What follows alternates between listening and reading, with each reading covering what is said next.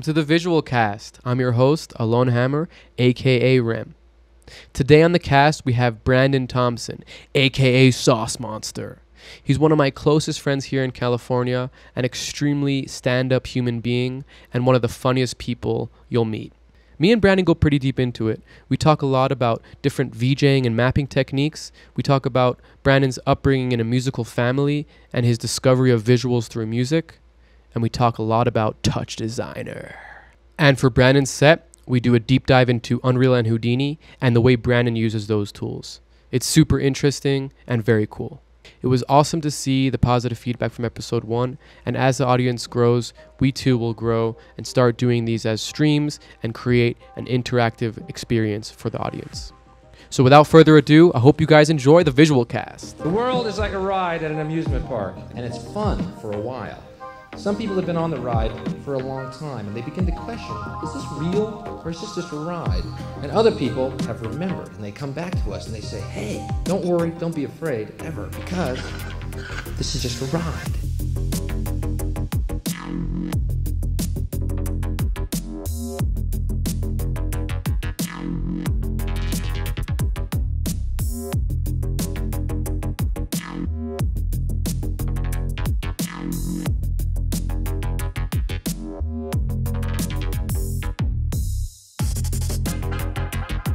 Okay, so welcome to Visual Cast. Um, I'm really excited. Today we have one of my favorite people in the world. Um, his name is Brandon Thompson, aka Sauce Monster.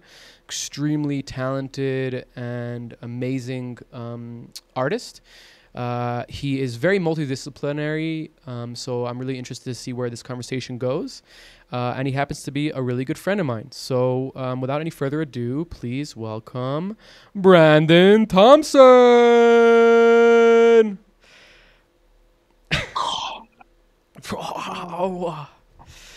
awesome. Well, welcome, welcome, welcome to um, the podcast. I'm so happy you're here. Um, it's really nice to see you. Hey. And um, yeah, I, I think let's just jump right into it. When you were younger and you were starting out, did you ever think that you would follow this as a career, be a, an artist as a career? Uh, like absolutely not. Like looking back to being like a kid or something. Um, you know, I was always interested. I drew and and I made videos and I did, but I never. There was no computer involved ever. Um, you know, always used them, but it wasn't really I didn't think about it. And then I guess computer came along with just in relation to music.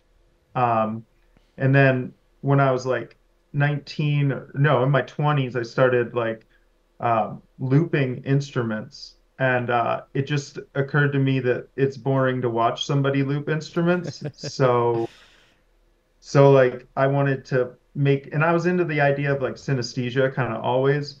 And I just decided like, oh, I could like maybe I'm using this new thing. You know, MIDI was new to me. And uh, I'm using MIDI and I have this program Ableton. This is like Ableton 5. And I'm like, how do you connect like MIDI to video? And this is 2005 mm. when when I super early looked that up. Yeah, so I found this dude, um, Surya Buchwald, who uh, ran this site called uh, VJ Kung Fu, and uh, he had a video on how to hook a Monome to um, to Ableton and VDMX, and it all started there. And that was just like VDMX plus Ableton, and just triggering through Ableton VDMX scenes was just like 10 years of my life and I loved it. It's like was the coolest shit. So, okay, so you said that you were uh, first fascinated by music um, and then kind of found the connection of like, okay, this is like uh, this is fun, but I want to see something. Was that is that correct? Yeah, yeah. Actually, it was like a dude at a at a music store that I was talking to about looping. Like loop pedals had just come out. I was just like, yeah, I'm, I'm messing with this, and I really am having a lot of fun. And he was like, yeah, I just saw Keller Williams, who was this dude in the jam band scene at the time, and he was sick. Um, but the guy was like, it was an awesome show, but uh, like there was nothing to look at Right. at times. Like you just want to see the performance, and there wasn't that. And I was like, easy, Yeah. easy. I was like, I'll add that, and I figured, you know, like in a couple months I'll be there, and here we are. So been that like, was uh, was that like the years. first time that you married that you married um, audio and visual was kind of this because you you were a musician first and then you kind of found it based on like you it was almost Yeah, like you no, needed it like- it was missing for you like I was making music videos mm, at that point with like Final Cut and yeah, like I was having a lot of fun editing together videos. And it, and then the the challenge was just like, well, how do I get videos? You know, and back in the day, that was like quite a challenge. Like there was like the Internet Archives, you know, and right all of my visuals just ended up being like weird throwbacks to like space in the 50s because it's like the only cool thing you Yeah. could find there. yeah I don't it's know. um what's that what's it called when uh, something becomes uh like after a certain amount of time like Mickey Mickey Mouse just became what is the word uh Oh yeah, yeah, yeah, yeah. Um, What it- like comment. com- somebody watching. uh, yeah yeah exactly it's like it's called this idiots um but yeah that was like the internet archives had all that stuff i remember I, I also would go down that rabbit hole of like okay what can i find that's cool and psychedelic here and then cut it up? Um there really wasn't much. I mean you know the, the most of the archive stuff is like black and white cartoon shit from like the 20s Yeah, yeah, yeah, yeah. i guess as time really- progresses it becomes more and more and stuff. Yeah, and then after that, like you know, Vimeo came out, you know, and then you could just like rip stuff steal high quality art from people yeah and uh, mix that together. But like, yeah, I mean, it was just like, where do I get the video? And for a while, the idea was like green screen everything. mm. And I, I had several houses with like the whole whole green screen rooms. I loved green screening for a while. Uh, but wait, wait, wait like, talk talk me through I- that. Talk me through that. You so you would you would record content on a green screen and then use it in a mix. Yeah, so like I had everything running through VDMX. So I had it very modular, like set up to all my songs were like um like fired out of the opposite side view of Ableton, which is nobody uses. It's like the clip launcher. Um and it's like gridded, so you have like like like say like verses, choruses, bridges, intros, things like Okay. that, like going this direction, and then you have like instruments like this, so you're Oh. like gridded. So you could fire like the drums from the chorus before you're at the chorus if you wanted to.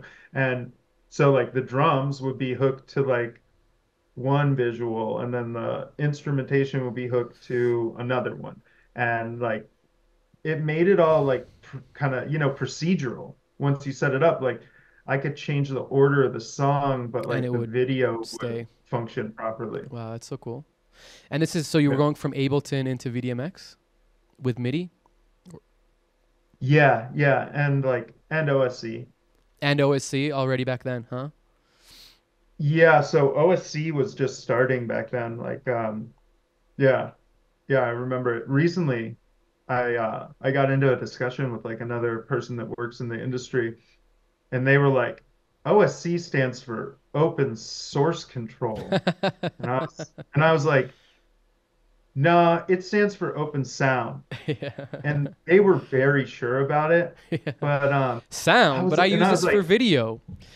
Yeah, yeah, yeah, yeah. And I was like, nah, man. But like, I didn't want to be like petty and then just look it up and be like, ha, you're wrong. So I was just like, I'm probably wrong. But it's not. It's definitely sound. It's Oh, yeah. definitely sound. Yeah, it's definitely Yeah. sound. Yeah, I think I think OSC was um, the original kind of like uh, like software MIDI. Like before, you know, Yeah, I MIDI mean, is like- very hardware dependent. Um, I think Well, MIDI's only on. MIDI's only. This is, was a shock to me at first. Like MIDI is 128 bit. right, so you can't you Zero can't encode anything 127 is 128. So like, the first thing that I would be trying to do was like control the timeline of a whole song. And I, I was like, well, clearly you could just like draw a beginning and an end to a track, and then if you chop up the pieces while you're controlling the time, but it doesn't work like that. because if you're trying to play like a three minute song and you have 128 points to reference it, that's not good enough for Right. video. Video needs more reference points. per so frame or at least per you know z- yeah, for the frame, so zero to 128 is not enough, but zero to one is digital and it's infinite. mm, There's infinite points between zero and one, and there's only 128 in the integer points between know, In MIDI. in MIDI. I wonder Yeah. did um did VDMX have the like cuz like in touch right or in most node based programs now like you could just take any uh, range and like remap it was that not Oh, an yeah. option back then Oh yeah, that's an option, but there's nothing, there's no info to remap beyond Oh, because you don't have right, right. Because you're just you. Yeah, it's like it's not a float. I mean, it's not. It's not. It's not a float. It's like literally an integer. There's nothing in between. in an integer. Yeah, right. That makes that makes total sense. Yeah, that's And I funny how like. the integer thing until this conversation. Like I did, it's funny. It's funny. Well, you don't like when you think about like what MIDI is, right? It's literally like triggers, like very like Mm. okay, maybe knobs and stuff, right? But like mostly you're just triggering things and causing the Well, no, one to. knob is like 128 little mini triggers. Right, the mini triggers, exactly, exactly. Yeah. It's so interesting how like um like the advent of digital uh, data versus like analog data is so much more powerful, and it's kind of like I guess back then people are like oh OSC that's that's lame because it's not real, you know, or some shit like that. Somebody was probably saying that, but it's Oh, it's dude, funny how then, yeah it was way worse than that. It was like people were just like they saw a computer and they were mad. You know, uh, like for real. Like I was coming from like I've always been from like traditional music. Like I don't know how many years I spent in this fucking stupid battle in my head against like what's the the uh, does it uh, is it o- like does it is it valid like does it matter Am I an artist if it's on the computer? Um, Yeah, yeah. I'm so flipped on the other side right now. Like I really like look at it as like a downside. Like Mm. like I have a problem with myself that like I have trouble respecting non-computer art mm, for real. right. For real. For real. Um yeah, like um Well, before before we get into the art question, because that's definitely a Go whole topic, I want to ask you a little bit more about your life before. So, music. Um, you know, I know your history of music, but I'd love for other people to know it. Um, you know, you're you're you come. For those who don't know, Brandon comes from a long line of musicians, highly professional and um, talented musicians. I always, you know, I always wondered with you, was it a was it a tough like thing for you to be like, okay, I'm gonna do audio visual? Was there like some sort of um, uh, you know, uh, was it a little bit of a difficult thing to, you know, quote unquote, come out to your family about? Because your family is so musical. Um, and uh, yeah, just just walk us through that. I mean, like, you know, what is yeah, your they're also really yeah. They're also really open-minded. Like Yeah. so so nobody would ever like give me shit about it, but I can tell that it exists because like to me like I know that my dad and my stepdad um who are both like um who both knew each other. That's messy. But they they like were super into synths like together and writing patches like in the 70s when synths were like the thing. And what blows my mind is just that like I could not get these two human beings interested in any of this in any way to say and it's it's synthesizers. Like right. touch designer is a synth. Like Right. it's the same stuff. And it just blows my mind that the the like the interest isn't really there. So i don't see it as like don't do that. But i see it as like they don't really get it. Mm. and in turn it's like made me sort of like have this like defense mechanism. Like for instance my uh my little brother right he plays um and hi Kevin he plays uh like music for uh the president of the United States right now for Joe Biden while he's like asleep or whatever and uh Uh, wait, and like Isn't uh the president of the United States Donald J. Trump? well I mean He's my president. yeah not, He's my they, president. we didn't win on the 6th Well, so well, That's what they say.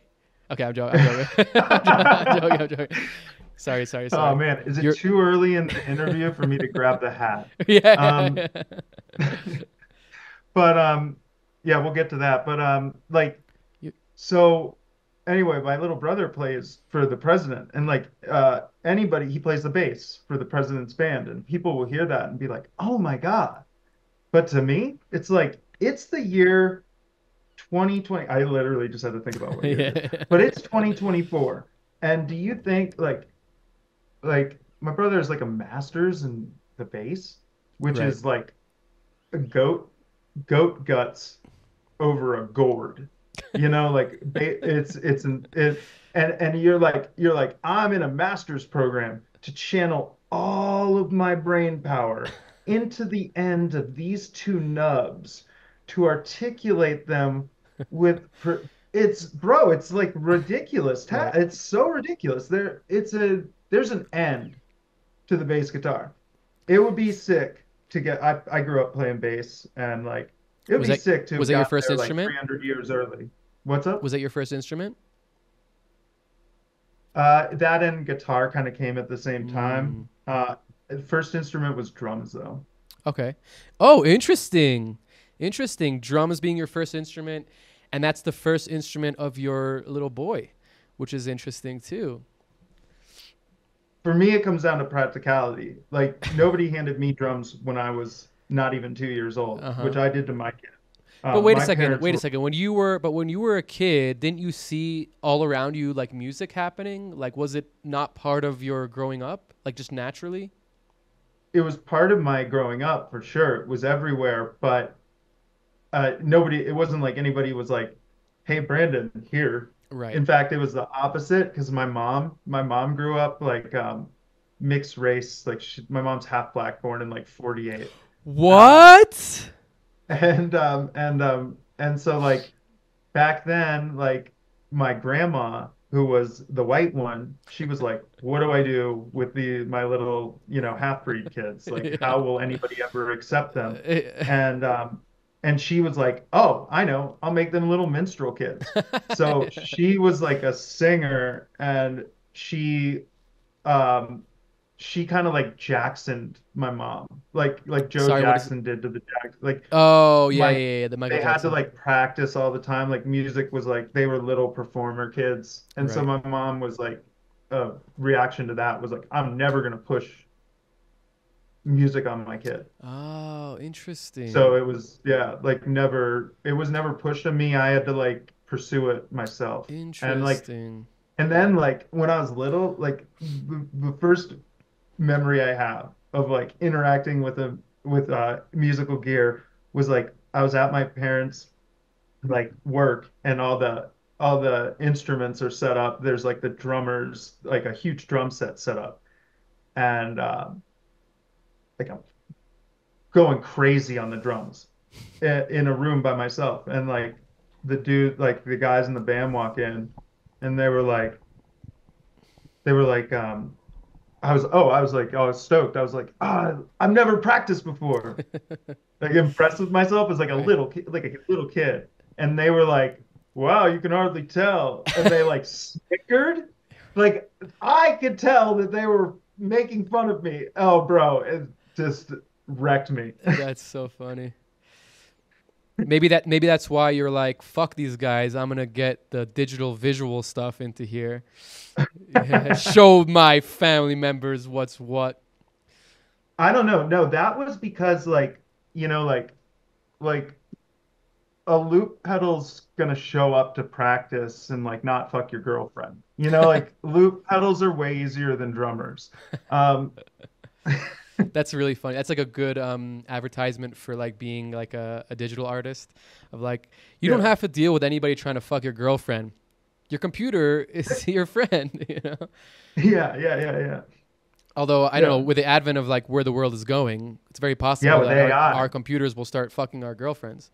Oh my God, it's gonna be such a thing when your girl starts fucking your computer. Yeah. Like he, they It's give me more- yeah, he gives I me more uh more attention than you, and he knows me so well. Yeah, yeah. He You're stops talking when I tell him to stop talking. it's like, okay. Well, my digital girlfriend doesn't talk at all. um, yeah, it's really cool to to. Oh, dude, it would be your phone though. it'd be your if phone. your girl was hooking up with your computer, it wouldn't be through your computer. It'd You be like all of a sudden you're like, no, we're not getting that many calls that your phone's vibrating throughout the night. Uh, but um, Yep. um, yeah, I, I was gonna say I think it's really fascinating um, that you, you know, as someone who came from such a musical environment and such a musical background, understood the importance and saw the future in some way. Um, of this connection of this marriage of audiovisual and i'd say that like you know it's not like audiovisual is like a 21st century thing you know pink floyd had visuals in all of their shows grateful dead had visuals i'd probably oh, and, uh, and you could even go yeah, pre that. You know you could even go pre music and go to like cinema right like the first advent of cinema was the marriage like you know the the first movie that was shown in a movie theater was the train have you ever heard this story No. so the first time they showed a movie, I think I think it was in France, if I'm not mistaken. But there was a uh, basically a clip of a, a video of somebody that caught a train coming into a train station, and the people in the movie theater freaked the fuck out. They all like they're like, "Oh, we're gonna get hit by this train." People like left their seats, ran away. They were all so scared by this train coming into the station.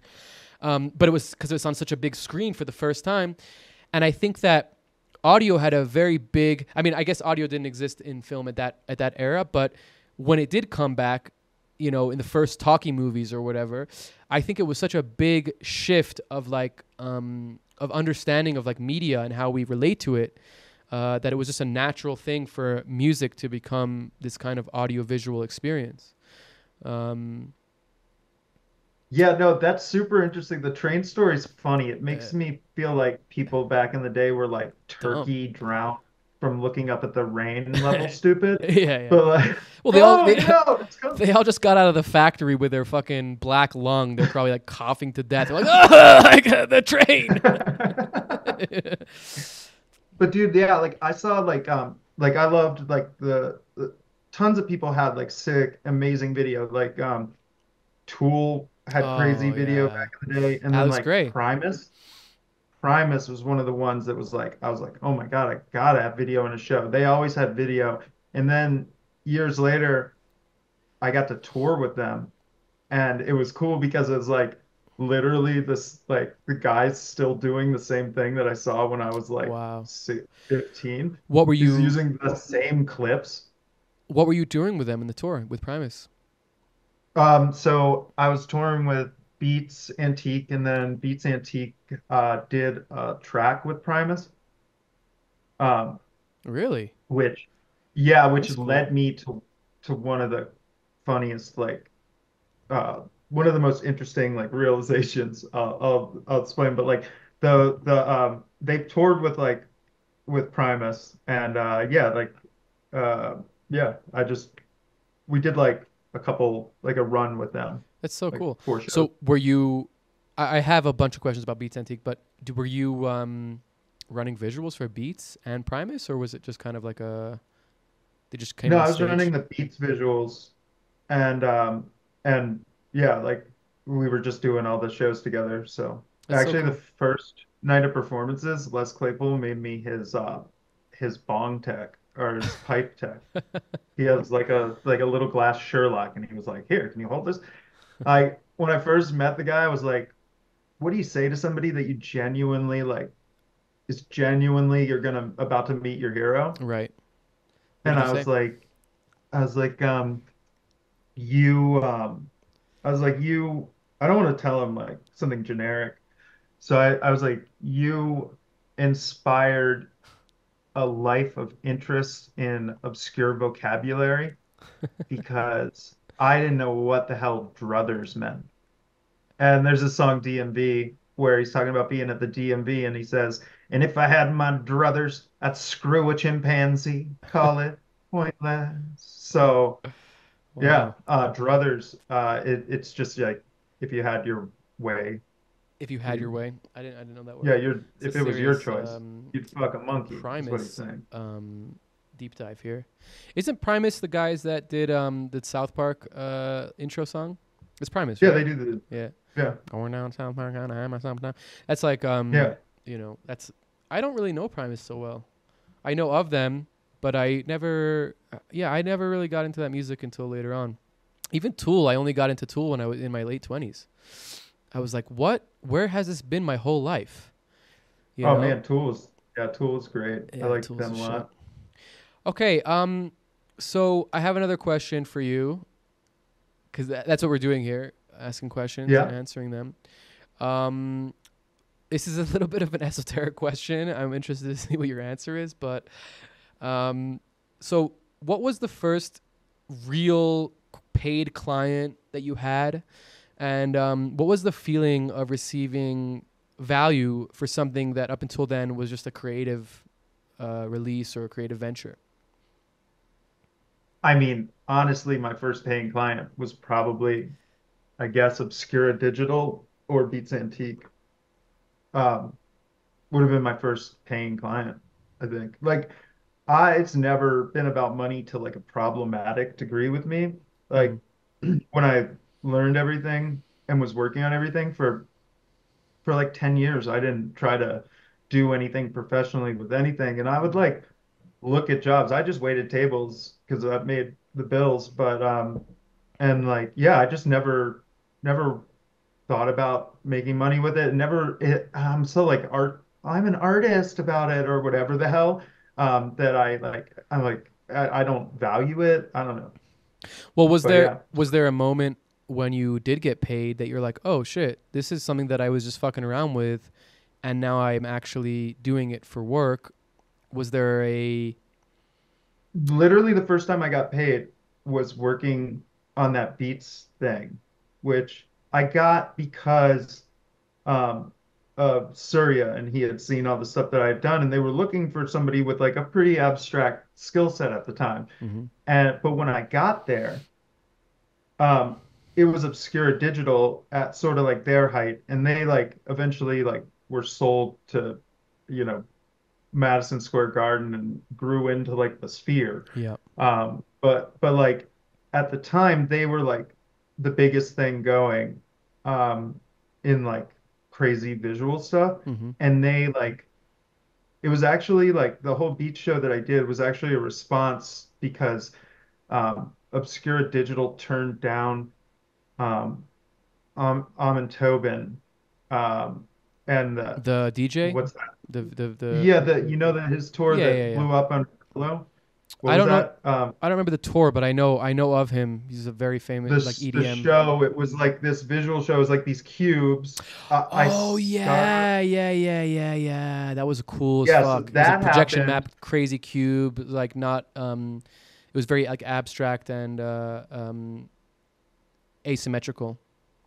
But really yeah yeah totally and really beautiful and well done Yeah, I remember that. and one. like Vello like blew up off of that uh, I mean like Vello did that cubes? mapping. No, he didn't do the cube. He Yeah. did those cubes? yeah V squared No the way. and I only know that because on the ride across the Bay Bridge uh, Matty Dolan the guy that was running Obs- uh, the guy running Obscura he was like he was like you know about the and he named that show that I can't remember the name of. You know about that? And he was and I was like, yeah, yeah. And he was like, that's why you're here. And he's like, we passed that up. Hmm. It would have been, I can't believe it. We we fucked up. We got to do something better.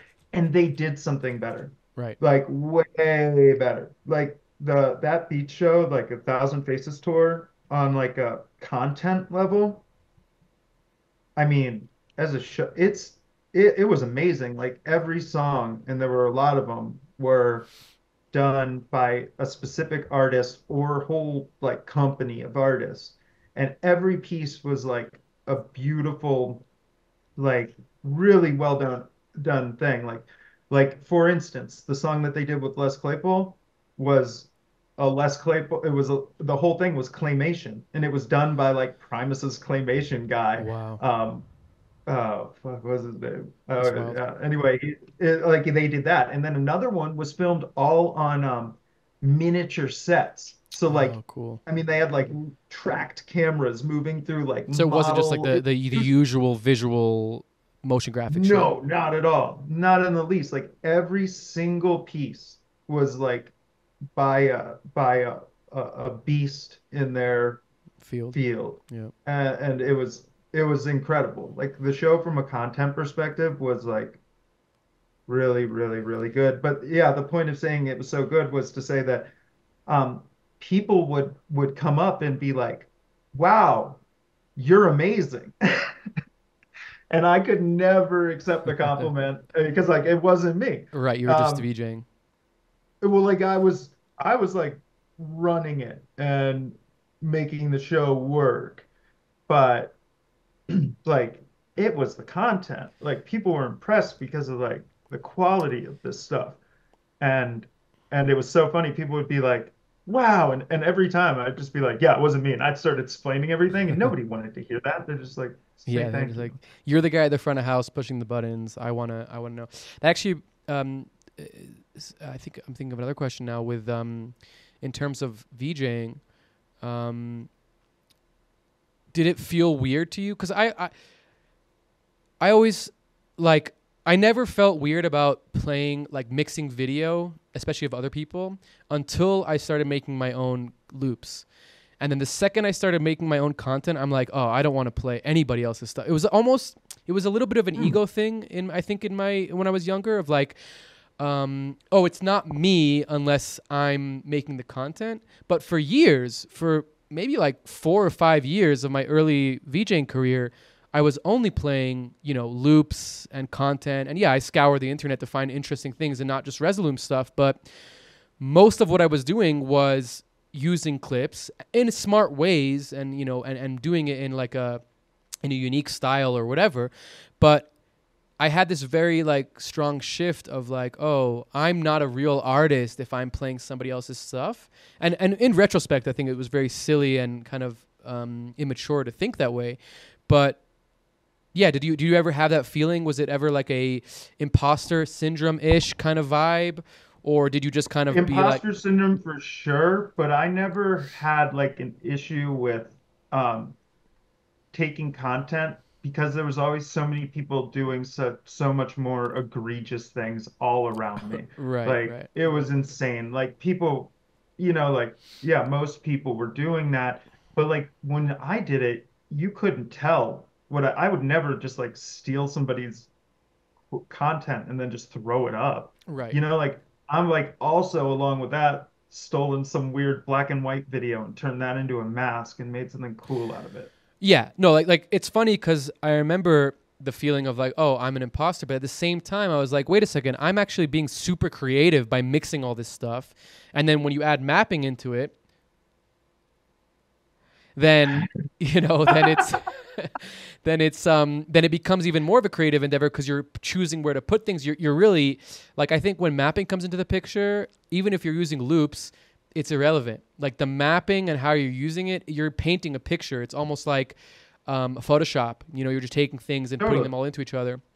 Um, Totally, yeah, and like look at look at like the whole time you're doing it, you're Yeah. doing it yeah, for a DJ. for yeah, yeah, yeah, yeah. Well, the, What- I mean, the- the performance aspect was always playing other people's songs. So, yeah, like, right, right, right. Oh, in no, that like, sense, what is yeah, the yeah, issue yeah, for sure, for sure, for sure. No, I, it's less of an issue. It's more of like just like um, No, no, I hear you. how I did you view it? Like, because you said people came up to you and said to you, "Oh, amazing show." Did you feel, um, like that you were not being honest, or or like because I guess you said right away you said it wasn't me, but did you feel, uh, you know, did did it turn you off of the whole experience? And what was it like was touring with like- Beats? Telling people the truth made me feel really, really good. Right.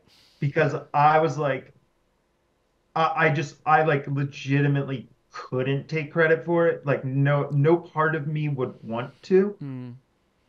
And, and like, but I, I also understood that most people would take credit for it. Oh yeah, And- for sure. So I felt really good. maybe not even that, like, maybe not let's like like you know not like like rip on people maybe not even automatic like maybe they're just they don't even understand the depth of it right they're just like oh yeah that was me i did it No, no, that's the that's the funny part. Is like I want to explain the depth, and then I saw like Tommy, the drummer from Beats, doing an interview one night, and they were like, and the videos are so amazing, and he just kind of like, you know, let it let it go by, didn't like credit anybody. He didn't do it in a mean way, Right. but um, and he didn't do it to take anybody's cred, but that's when it like stuck with me, like, oh, people like have no clue whatsoever. Yeah. Like they're legitimately asking, did you make that? And I just went over like all the stuff in there, like every song, there were like 20 plus songs with like unique, very well done content. It's like, yeah, so like Wednesdays I'll claymate, and then, you know, Yeah, yeah, yeah. like how can somebody make this on their own? It's it's such an insane question. Yeah, well, I mean, even even today, I'm sure even more back then, people didn't don't understand what we're doing. They have no idea. Um, you know, it's like the light. Like you know, I, I I remember the biggest thing was like, oh, the lights were so great that thing, and I'm like, you mean the lights or the projection mapping? Because those are Oh those are God, yeah, different. no, no. Like no, no, I meant I meant that, and it's like, oh, well, okay, but it's like people's understanding of what's going on.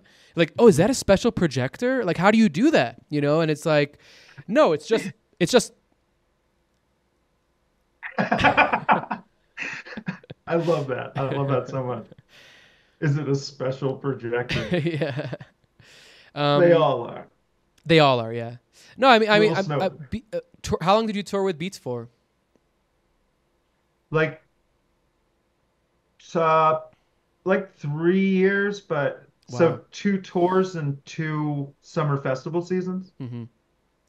And um, was it like a highlight of your career, monetarily, but also like in terms of what you were doing? Oh yeah, no, it was crazy and like very much like I was like not even interested in like being chill about that aspect of it either. Like Mm. like the you know like like coming in like I think like some people or or like a way to play it would be like to come in and be like I'm a seasoned vet, right? Yeah, You know like you walk in acting Yeah. like you know it's I walked in and I'm I'm like the VJ. this is crazy. I'm so excited. I've never done this, you know, to the point where like um at the beginning of the tour, um I've been hanging out with Obscura Digital mainly. I've been staying at Maddie's house and um like the dude that runs it and like he got a call from David Satori of Beats Antique who was like, "What the fuck? You put this guy on that's never done a tour before?" Oh wow. And he was like pissed, and Maddie was like, I mean, well, it's kind of a unique thing. We kind of need somebody that there's not really a lot of like touring people at that time that they could go for. And if they did, I think the budget was already like uh right out there. like you know they needed they needed somebody that could run it and could do it economically for them, Mhm. which to me was still a financial windfall at the time. But um, you know, to like the only other people that would have been able to run it would be like the programmers at Obscura because it was a it was a all a touch designer. It wasn't even like a finished interface. The whole tour was like like a open node project. right, just trigger triggering by- videos, triggering clips and stuff. Yeah, and like a, but like also all the mapping and stuff. Like that was the other thing. Like the first time I ever, yeah, the first time I ever mapped was actual projection mapping, which which no one does. Nobody projection maps. People Yeah. projection mask. There's a difference. Right. Okay, explain the difference. So Beats Antique Show was like actually projection mapped, meaning that the surfaces were the UVs of the of the object. The surfaces were the UVs of the object. Like like um the cool thing about that was that like we played some venues where the set wouldn't work. One of them in like Louisville, Kentucky, I remember just being like, yeah, it's never gonna even close to fit in this room.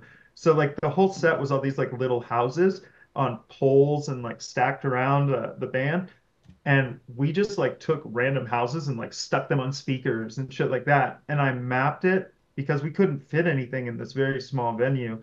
And the it worked. That was the surprising part. I put it all up just like, well, we'll do it because we can.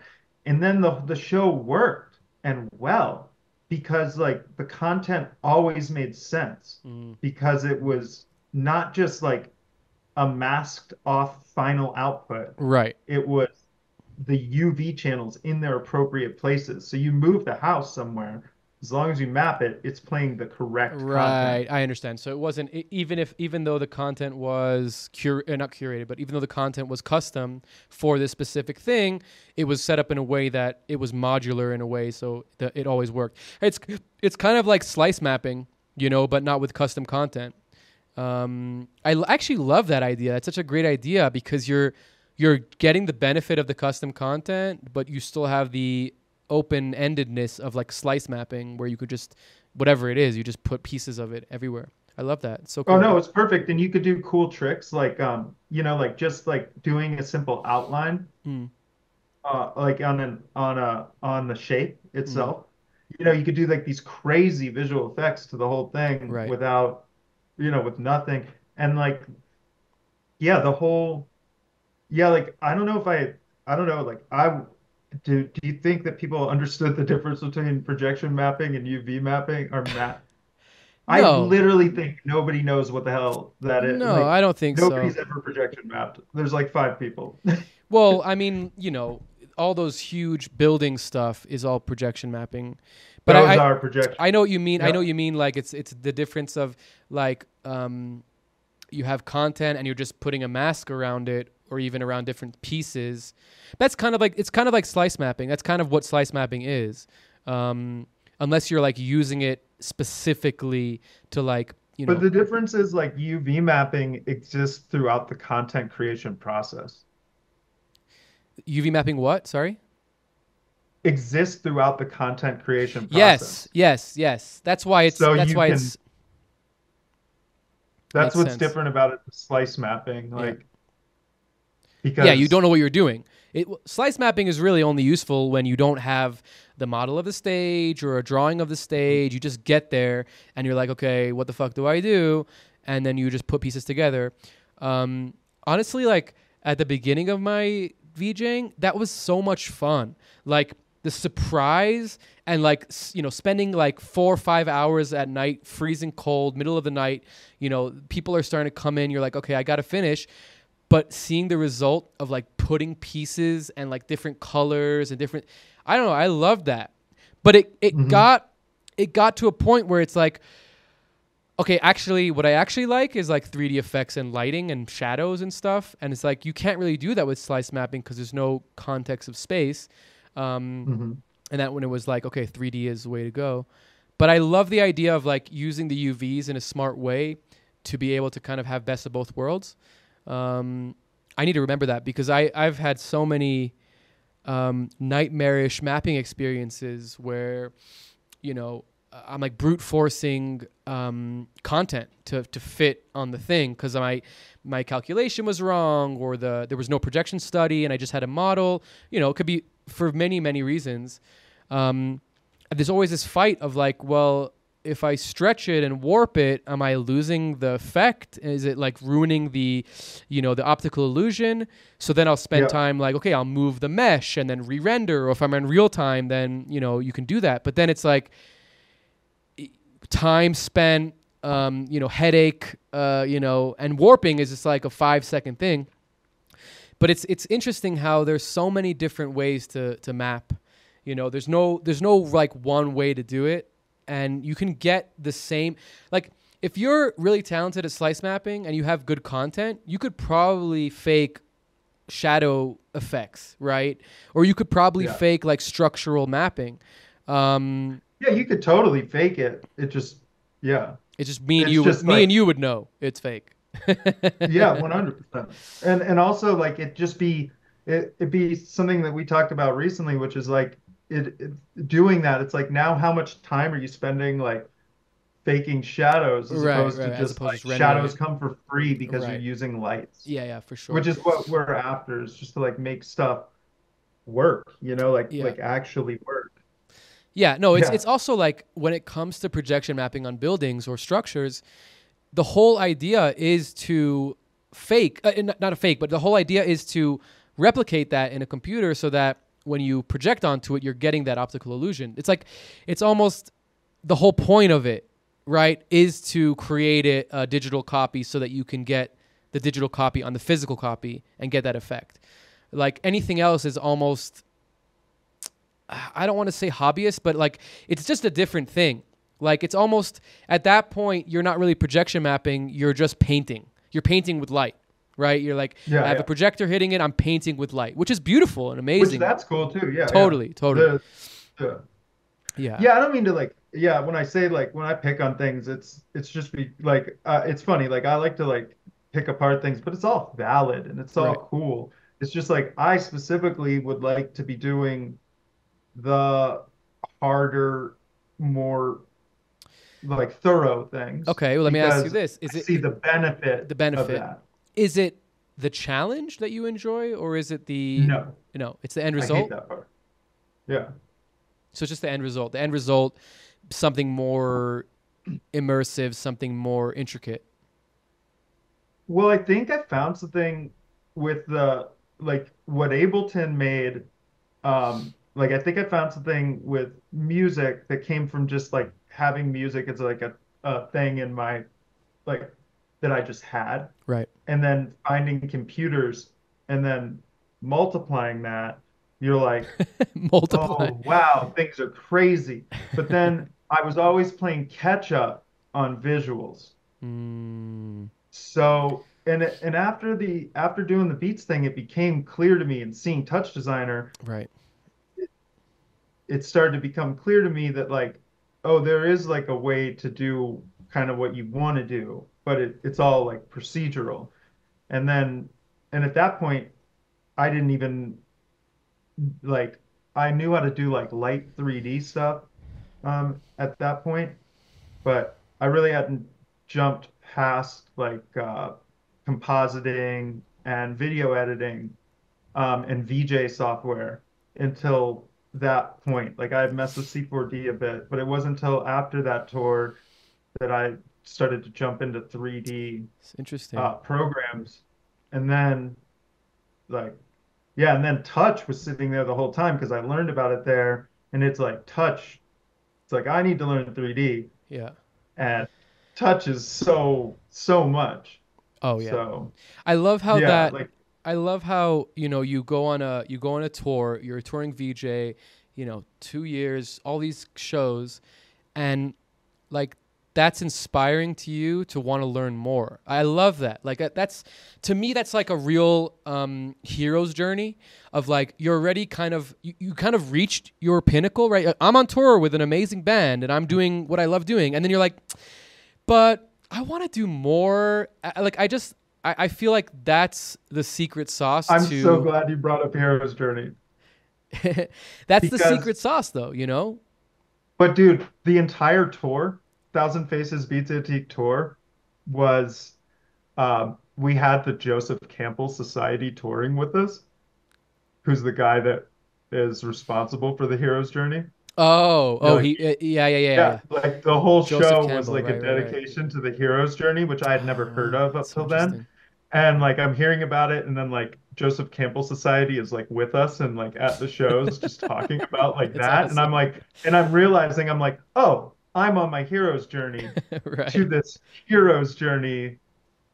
It was yeah, it was funny. You're in a It's hero's journey of a hero's journey with a hero's journey. And then I married the the uh, supporting act, and uh, David um, married us. The David Satori of Beats Antique, dressed as a pope, married us at the main Wow. stage at Sonic Bloom. That's awesome. So it felt like very hero's journey-ish.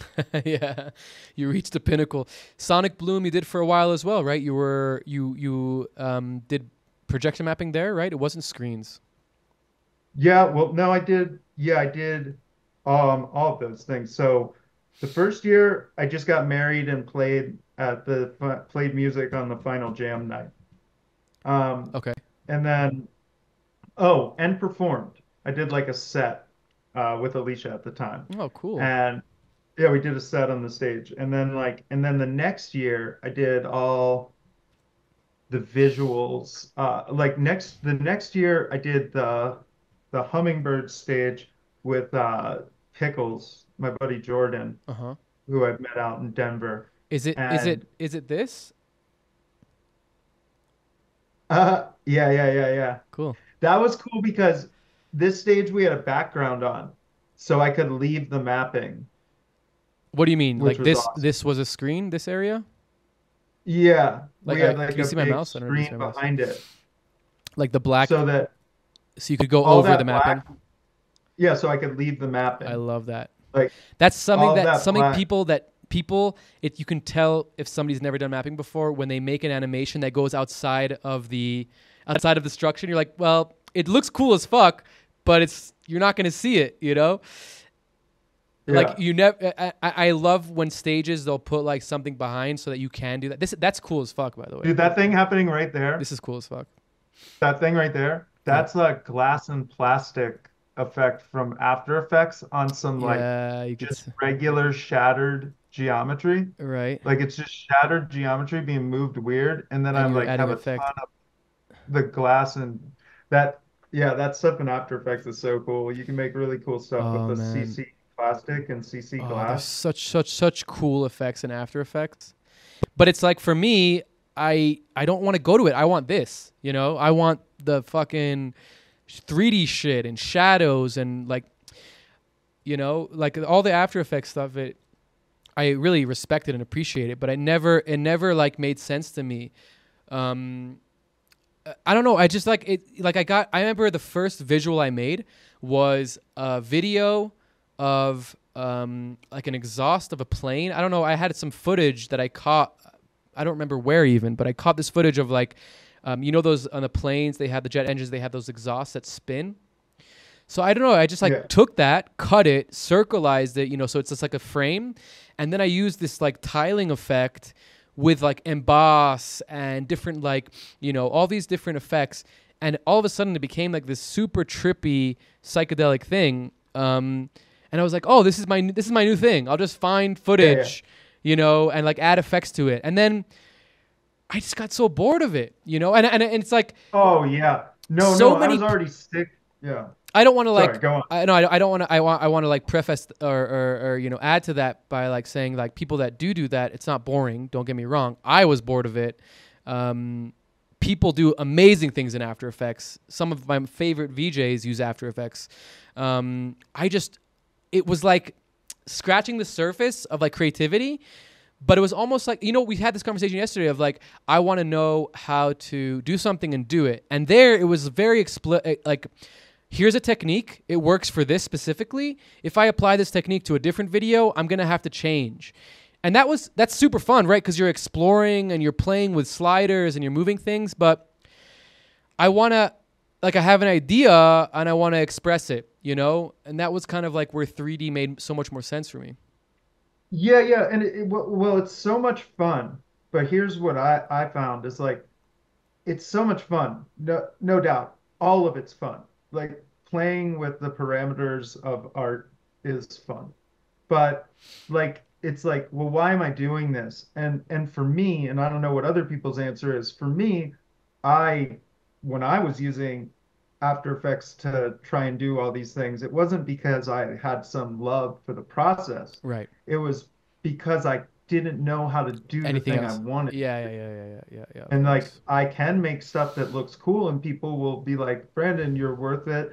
And that's neat. But like uh, you know, like it wasn't it's just like then you spend like years just like working on thing and you're not to the point that you were trying to get to. yeah So that's that's why like effects for me were like a a, a big rabbit hole. The whole thing, visuals. I wanted to say this a little earlier. Like visuals to me was like this thing when it came out up at first was like this is super cool.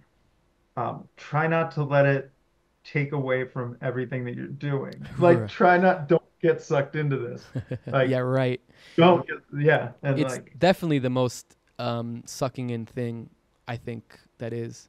I think it's I think it's like this. I think it's it's different. It's different. It really sucks you in and it takes a lot of time, but it is missing something versus music, um, like in terms of like motivating you to do it. Mhm. Like music is this like you're decorating time Mm, wow and uh it's just this thing where it just keeps happening and like there's this thing with music where you can't stop. Yeah, like the yeah. last thing you'd want to do in the world is stop and you like can't do it fast enough and you can't because it, it's just so much more happening in the moment. There's this motivational level of it that just doesn't have to exist. Whereas Mm, with visuals you have to be like sober. Right. like like here we go. Yeah. I'm gonna jump in. I'm gonna take the I'm gonna connect all these disparate thoughts and try to make them into something. Mm, it's it's very different, but I mean, again, that could be like because also my idea of, I mean, like also it could just be like, what do you have as a history with this? right. Like I, I would imagine visuals will feel like that to younger Well, even you know, it goes into an interesting um, place of like, and I, it's not like a versus thing. It's just a you know, uh, real time visuals, um, you know, versus like um, rendered stuff. Which is like you know another thing about After Effects was like, if it doesn't look good, you're fucked. You just wasted all that time. You know, I didn't have the 3090 back then.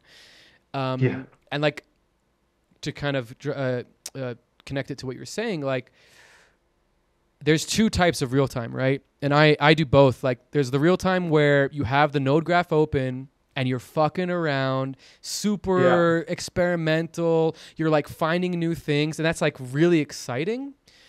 But it's not as flowing like music like you said because it's very you have to be sober, you have to be very laser focused. Like if I connect this, what's it going to do? If I connect this, what's it going to do? And then something breaks and you're like, "Oh fuck, I have to go back." That's like one type Yeah. of real time I feel, and it's very specific and interesting. But then there's another um, aspect of it, which is what I'm, which I feel is my my personal natural progression of making a rig, and that rig is generative, it's procedural, it's always changing, it's always unique. And I have control over very specific things that when I play with them changes something drastically and I don't even know what's going to happen.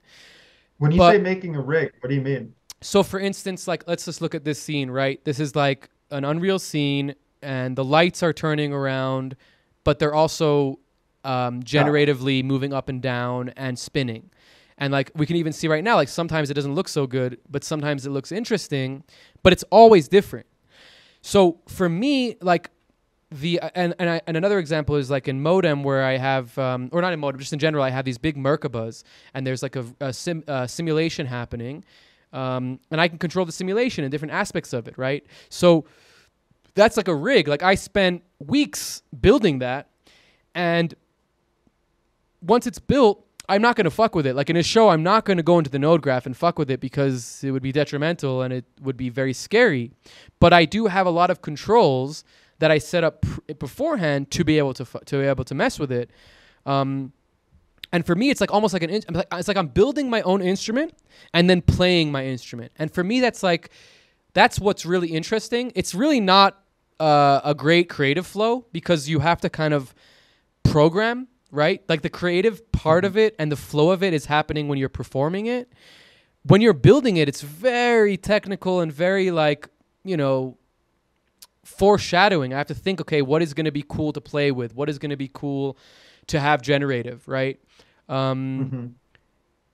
but I think that that's like kind of a very interesting marrying of kind of like an instrument, right? Because like like taking loops, adding effects is not really an instrument. You you are performing live, and there is an aspect of like the performance as an instrument, like you know on beat, hitting the buttons, playing the thing, listening to the music. But you're just adding effects. You're adding like a loop, uh, um, uh, an effects pedal, right, in between your guitar and the amp but building like a real time generative scene is like the guitar. You know what I mean? So I, I feel like there's something to that. It's it's like it's a totally different thing, and you and you and it there is pros and cons, right? Because you're kind of stuck now in this thing. You have a guitar, you can't make a guitar sound like a a drum. I guess you could, but you know it's not really like a smart thing to do. Um, Yeah. But there is the aspect of like okay i'm actually playing an instrument that's alive right? If i twing the string like that if i turn the knob faster or slower the generative aspect of it changes you know? Um, i really enjoy that. Yeah, and there are attempts to like hit that again, but we haven't really like it's it's funny, like all of this is in its infancy. You know, like I think that I think that when all is said and done, musical instruments will be a smaller footnote than anybody's prepared to accept. you think so Yeah, I think they'll lead into, I think that they're just a very early version of something that everybody will have access to. Mm, Um, it's sort of more like a generalized thing. Like like it's a it's a mode of interaction that we found through musical instruments, but it's much more commonplace now. Like it used to be exclusively the domain. You know what was a big mindfuck? mm, Is like after many, many years of trying to make like audio visual content into a show, um, you know, and like using um you know, like getting into touch and stuff, and like, you know, you the first thing you realize is like, oh, touch, like in the explanation, they're explaining the timeline and like this is a, an engine. This is an engine. And and then like game engines start taking effect. right. And like at some point it just becomes like I never liked video games. I all right. At some point I just stopped playing video games. I didn't never like them. I just at some point I- they just felt like dumb to me. Like you're just doing some weird thing that somebody made for you to do. It just wasn't fulfilling after a while. And yeah, it felt like responsibility. Like it's like go collect these. It's like fuck you. I don't want to collect anything. Like I want to sit here and hang out.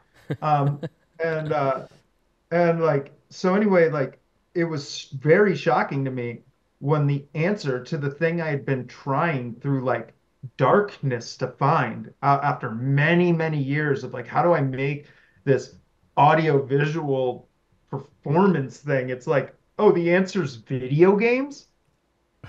Duh, right, right, right. duh, Yeah. like duh. That's yeah, duh. answer. Right, it's a duh because it's, you know, what is a video game? It's just literally uh somebody's like um instrument, right? And you're playing his instrument or their instrument, whatever. Yeah. It's really like that. I think that that's a really interesting point because we are in like a really weird place, right? Where like Notch exists and Touch Designer exists, and like these are tools that are they're built like a video game engine, but they're not for making video games. And I'm so Mhm. I'm so intrigued to see where this goes, you know, because it's like as much as I love as much as we love Unreal and we've, you know, pretty much built successful careers because of Unreal. Um it's a fucking bitch to make anything interesting or abstract in it. And like when you do and when I do, I feel really smart and I feel very fulfilled. But sometimes I'm like, fuck, this is so ridiculous. Like this is not made for this. You know? And, And, yeah, yeah, and you don't get lost in it the same way. yeah, you don't get lost in it. Right, because you're You very know, like you'll be a notch, right? Yeah. You'll be a notch, and like just the lost. next day, you're it's the next day. Yeah, yeah, Like, yeah. You know, like we've sure. been screwing with these things for so long and having the most fun. There's no complaint complaint about screwing Well, with these when things. there's when there's bugs and things don't work the way they should, it's annoying. Sure. But yeah, I, I, yeah, like like going deep into a rabbit hole in Notch is it, it's it's very pleasurable. You know, Yeah. it's very like yeah, I mean, I think it's built in a way that was kind of like an like almost like a synthesizer in mind, right? Like, um, No, totally, totally. like taking like But 3D there also are limitations of it because of that. Yes, like every. I, I like this if anybody is a notch person out there and a touch person uh it's like what is touch designer and it's like this series of like very small um generalized ideas that you can add to make anything you want Right. versus Co- it's right, like very techniques and concepts, like but but the full on base of it, like add, But multiply. Notch is like is like here's a node Yeah. that does very specifically maybe these three things that people are always trying to do Yeah, and yeah, can't yeah. do. Yeah, and it's just And- one node. Then that's all it does. Yes, that's all it does. And then what's the downside, right? Like so for instance, like um, reaction diffusion, right? There's like a node, reaction diffusion. Fucking works amazingly, looks beautiful. But the only control you have over it is like how much circular pieces or how much lines you're gonna have. And that's cool, right? But like reaction diffusion is fucking an endless pit of things, you know? Yeah, yeah, yeah, Um yeah. yeah, I, that's always with Notch, and this is gonna bring me to another question for you. Um, you know, Touch Designer is so unique in that sense that it really is like a toolbox for visual graphics and you know um, creative like uh, endeavors with audiovisual. Um, why do you think like why do you think it's so unique, and what do you think derivative? um, It's funny how I wrote the question here. I'm not going to say it, but what do you think? Do you want to say Greg Hermanovic is God? Is that what you were going to say? he definitely is God. Uh, it was it was more of like I'm shitting on other things here, but I'm not going to say it. But like, what do you think differentiates derivative? And si- I think SideFX is in that as well from other companies. I'm not going to name, but you know, what is it? What is what is special about touch that makes it such a fun? Touch is your dad, man. Touch is your dad. Yeah, like like all these programs are like like Unreal is like is like your your buddy getting you into drugs. right? Like Unreal's like Look what you Unreal's can like, do. "Ah," like, like here it is. Look at all this shit. It's crazy. Yeah, you can have it. It's like a video game. We made it and then discontinued. Look at the ray you can have it tracing. Yeah, look at it. It's all set up. It's ready to go. Start it. You have everything. You can dissect every little bit. And then touch designer's like, fuck you, here's a banana, figure it out. Uh, oh, hey, you want to see some crazy program? Look at these squiggly jelly beans. And like if you if you look at the example project in touch, it's pretty cool what's going on. But it's not nobody cares. Like nobody sees that as like, oh, sick jellies. you right, know? right, right, right, right. That actually uh, brings me to Paketa. You know, like um, it's like uh, Oh my God. same idea. That guy. like look at this like like you know this guy is is taking images like fucking noise images and making them into like the most intricate cr- like that's all that is is a noise pattern and a feedback but it's like the way he gets there is like what like Paketa is is like I don't know. Uh, he's like he's one of the most impressive people. Um, I mean, he's just his the way he thinks at this point, like the way he goes about doing things. It's all about separating like color channels. color it's channels so cool, man. it's just color It's so cool. I, I feel like touch designer allowed well, uh, not to reduce from Paketa's genius because I think he probably would have done the same thing without touch designer, but it's almost like touch I designer. know about that. It's Well, pretty hard. What are you gonna do? Like rip apart a paint set? Like what? yeah,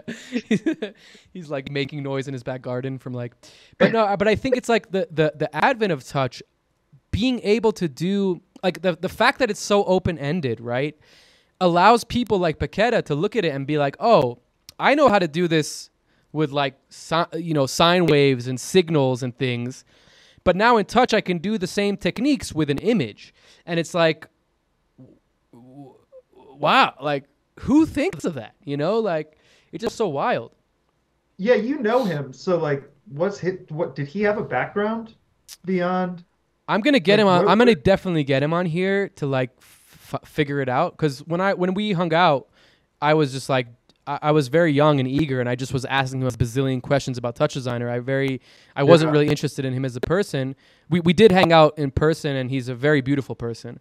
Um, but it wasn't like you know I never really asked him like what was his you know how did he get into touch you know because I was just interested in like um touch like look at that it's like literally like blinking noise on and off and you're getting like this Yeah. crazy ridiculous output that's procedural and totally generative What- I, I don't know it blows my mind What's so funny though is like I'll be so impressed with Paketa, and I'll be so interested, and then I think about like just like having like a gig or something, and there's Yeah, like like- somebody after me for like a product or Yeah. like an end result, have you seen and Paketa like- 12 It's like- and I'm just like, look at what you can do by Yeah. separating color channels and using UV map. yeah yeah. like and they're just like yeah like it is Why? visually impressive like but what is the yeah dude that stuff with the melting uv channels and the all that like the uv stuff it's so it's addictive like It's to look so- at that so stuff beautiful. recursive Yeah. the recursive feedback stuff he does it's Oh, insane it's insane it's insane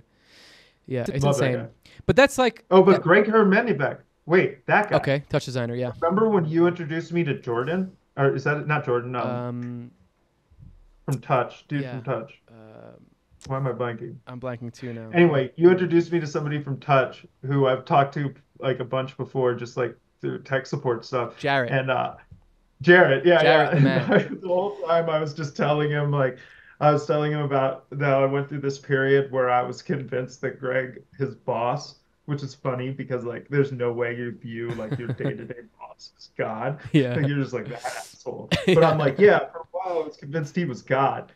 But like I think that that touches your dad and it's telling you to learn because the stuff that you'll learn is way more.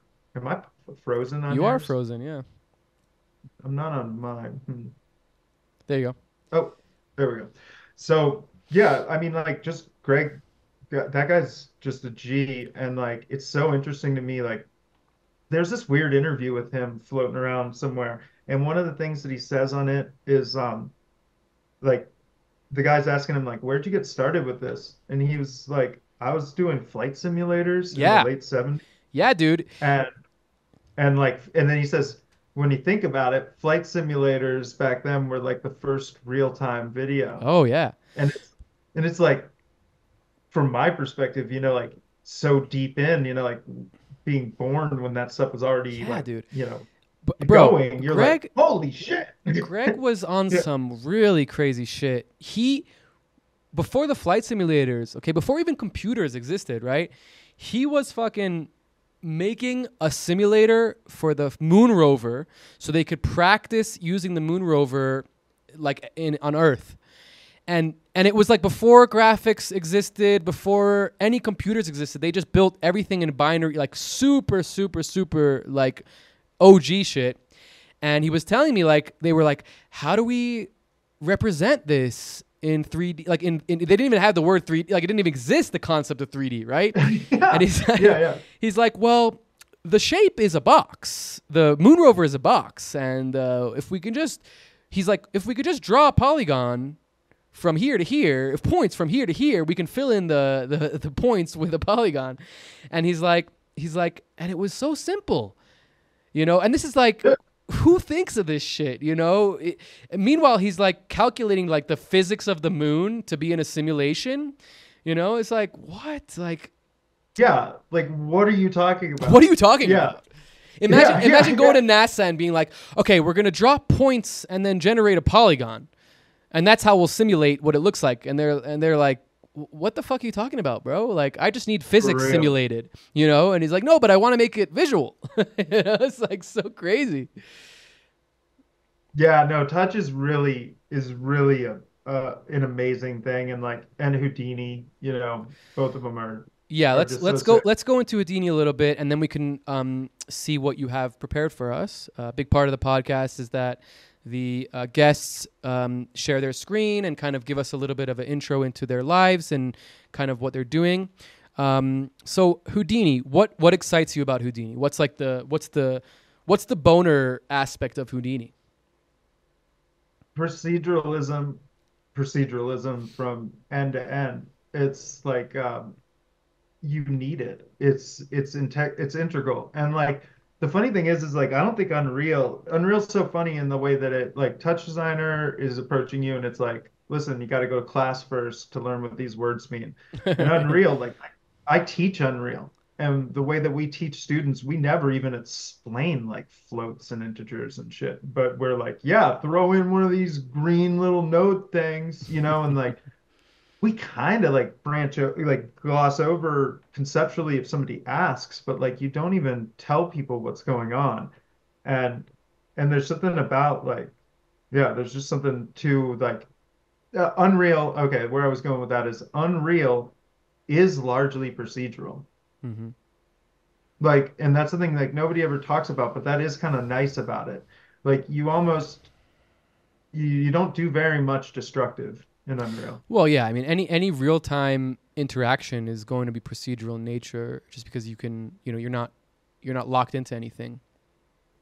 yeah it's just that you have to create the asset first and the asset mm-hmm. itself needs to have those procedural control things and it's not about like it's about because like for anything to work in real time it sort of has to be procedural that's like what the world is Right. right like it's it's a system it's a it's it's alive Mhm. you have to make something alive Mhm. you know like that's the crazy part like like all this stuff is little living things and Mm. that's what's cool about it that's why houdini's cool because at the end through all the bs you're actually going to be able to make something real and then the other part is you can actually like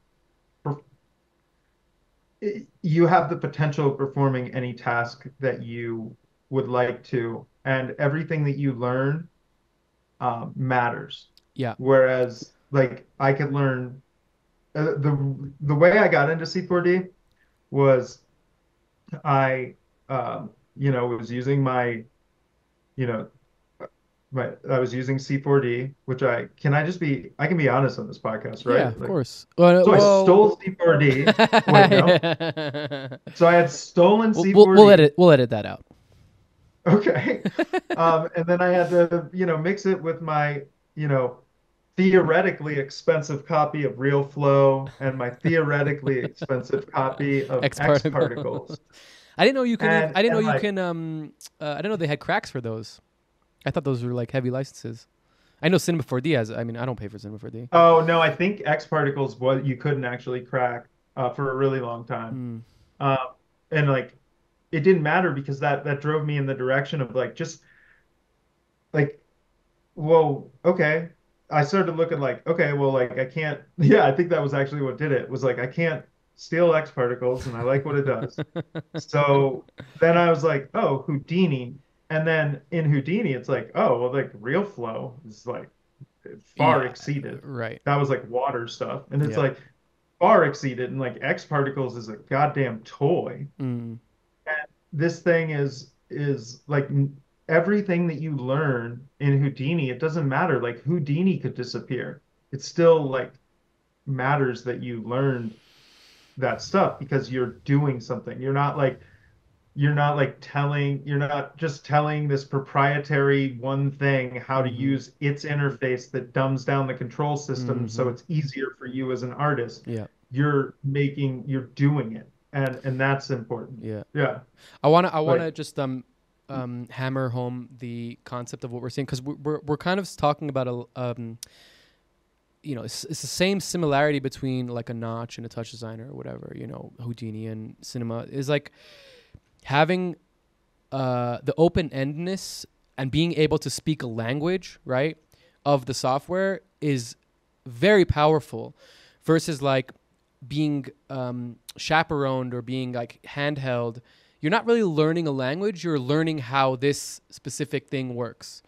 And I just want to. We've been we've been kind of hashing that out, and I, I I totally agree with this, and I think that that's very important to differentiate. But I think that we ourselves, both of us, kind of started at the former, right, or at the latter, of kind of like I need my handheld. I don't know what I'm doing. I don't even know what to think of what I'm doing. Um, so I think that you know these type of programs um, have a lot of um, merit. You know, they're almost Oh, they're yeah. almost like Oh, a yeah. spark uh, igniter. You know. Yeah. Yeah, no, no, 100%. And like, yeah, I don't even mean to talk shit. I just like, for me, it just, I want to get to the point where I actually know something. Uh, and that's it. Like, it, it doesn't, and it's just to be able to do better Yeah. at, um, at creating what I want to create Yeah. and not making sacrifices. Because that's a big thing. I feel like it's just so easy to just get caught on a, on a, just a long slope of just trying to do something that you weren't even trying to do when you started. Oh yeah, yeah. And it's that's it's also the yeah. same argument of of real time versus uh, you know uh, offline content of like for both of the things you're gonna have to work a lot. But the real time one, when you finish, you have a thing that is always new and changing, and the render it may look better, but you're stuck with it. And it's like for me, it always made like it never made sense to spend time rendering when I could do the same exact spend of time, but my end result is now totally open ended and, and beautiful. And I, and I again, I'm not shitting on, on rendering. Like obviously, there's a lot of benefits, and I and I find myself Oh, yeah. rendering a lot um, in Yeah, in, you me know, too. In, in my you industry. get the best looking stuff still. Yeah. But it's it's not going to be that way forever. Yeah. Well, I mean, I think the the the real um, the real winning is when you use Unreal to render offline because what you what you made is infinitely changeable and configurable, but you're getting like the higher quality render. I think that's where like the and th- I think that all softwares are going to be eventually be that. Like you know, Blender has Eevee. Um, you know, Octane has its new thing coming out at some point. I don't know when, but that's kind of like here is the highest form of rendering, but here's also a real time renderer attached to it. Which I, you know, Yeah. I feel like it, talking about exploration and finding like your, you know, what you like. That's the best way to do it, right? It's like when you have a, a, a real time feedback. It's like music, right? Like you play a string, eh, you play, you strum, you get the result, right? Whereas like something like After Effects, there's no strumming. There's like there's uh, writing sheet music and then hearing it, right? Which is like a totally different experience. Um, again, not better or worse, just different. So okay, so we we we're in Houdini land. We're talking a little bit about Houdini. Um, you you you know you express kind of like where it came from, how you kind of got to it from Cinema 4D. Um, before we jump into showing what you have for us here today, um, what are you currently working on in Houdini now? Like, what is what excites you about Houdini now after you've already kind of explored it and gone deeper into it?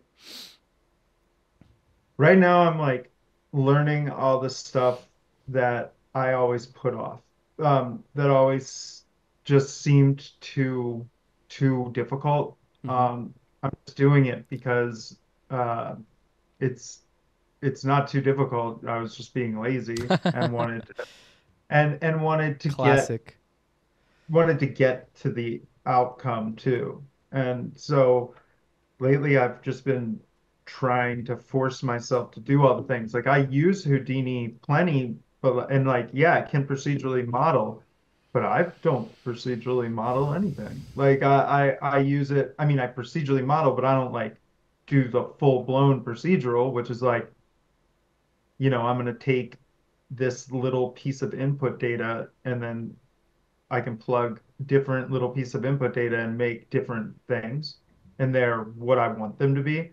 Things that I wouldn't know how to make with other software. Mm. So, so I've just been trying to learn like the procedural part. I've always put off rendering in Houdini, Mhm. so I just wanted to get down. I don't know that I'll do it. They have Karma now, which is really nice. It's like their uh it's like Octane basically for them. It's a GPU. Yeah, it's GPU. Uh, Yeah, bound, GPU yeah, render. Yeah, yeah. it's nice and and it's apparently um, pretty fast. I haven't pushed like enough varied things to really have an opinion on it yet, but it works nice. Um, so I wanted to learn that, and I wanted to learn uh, like chops in Houdini because like I Mm. love chops and Touch Designer, but it's a far different thing when those chops aren't raw input. Mm-hmm. So in Houdini, it's interesting. It's it's way more like using a synth Uh huh. when you're using chops. In, Because like in what way? you're really nothing. So you have to like create the input signal. So it's like, yeah, like if I'm gonna create Right. There's no like there's no cir- timeline playing. Right. Yeah, yeah, there is no time. That's the cool part, crazy. is that chops are disconnected from the timeline. Right. They're, they're unbound. Yeah, they're unbound. Opens a lot of possibilities for interesting things, huh? Yeah, yeah, but also like it's funny, like even chops and Houdini, which is like Houdini's like such a funny, like weird offshoot place that is um, you know, yeah, it's it's difficult.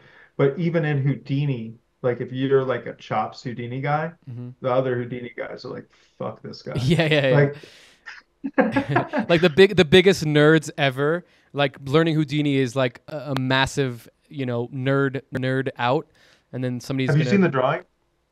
which one I'll find it. Uh, uh, the drawing, it's like a, a like how hard software is. oh yeah find it find And it then- that sounds fun Yeah, it's so funny. but i just find i just find it very funny like somebody who knows houdini would look at somebody else who knows houdini and be like oh fuck that guy he knows more than me it's like it's Yeah, such a funny yeah. thing you know like how deep can you go into the rabbit hole of craziness I yeah, I've like been using it for years, but it's really, it's like, yeah, well, it's when endless. people are like, it's infinite. yeah, it's endless. That's the beauty. I mean, touch touch designer. You know, it's so funny because like Unreal has maybe like thousands of nodes, a thousand nodes, maybe more. Touch designer has what like a hundred nodes, maybe like a little bit less than a hundred nodes.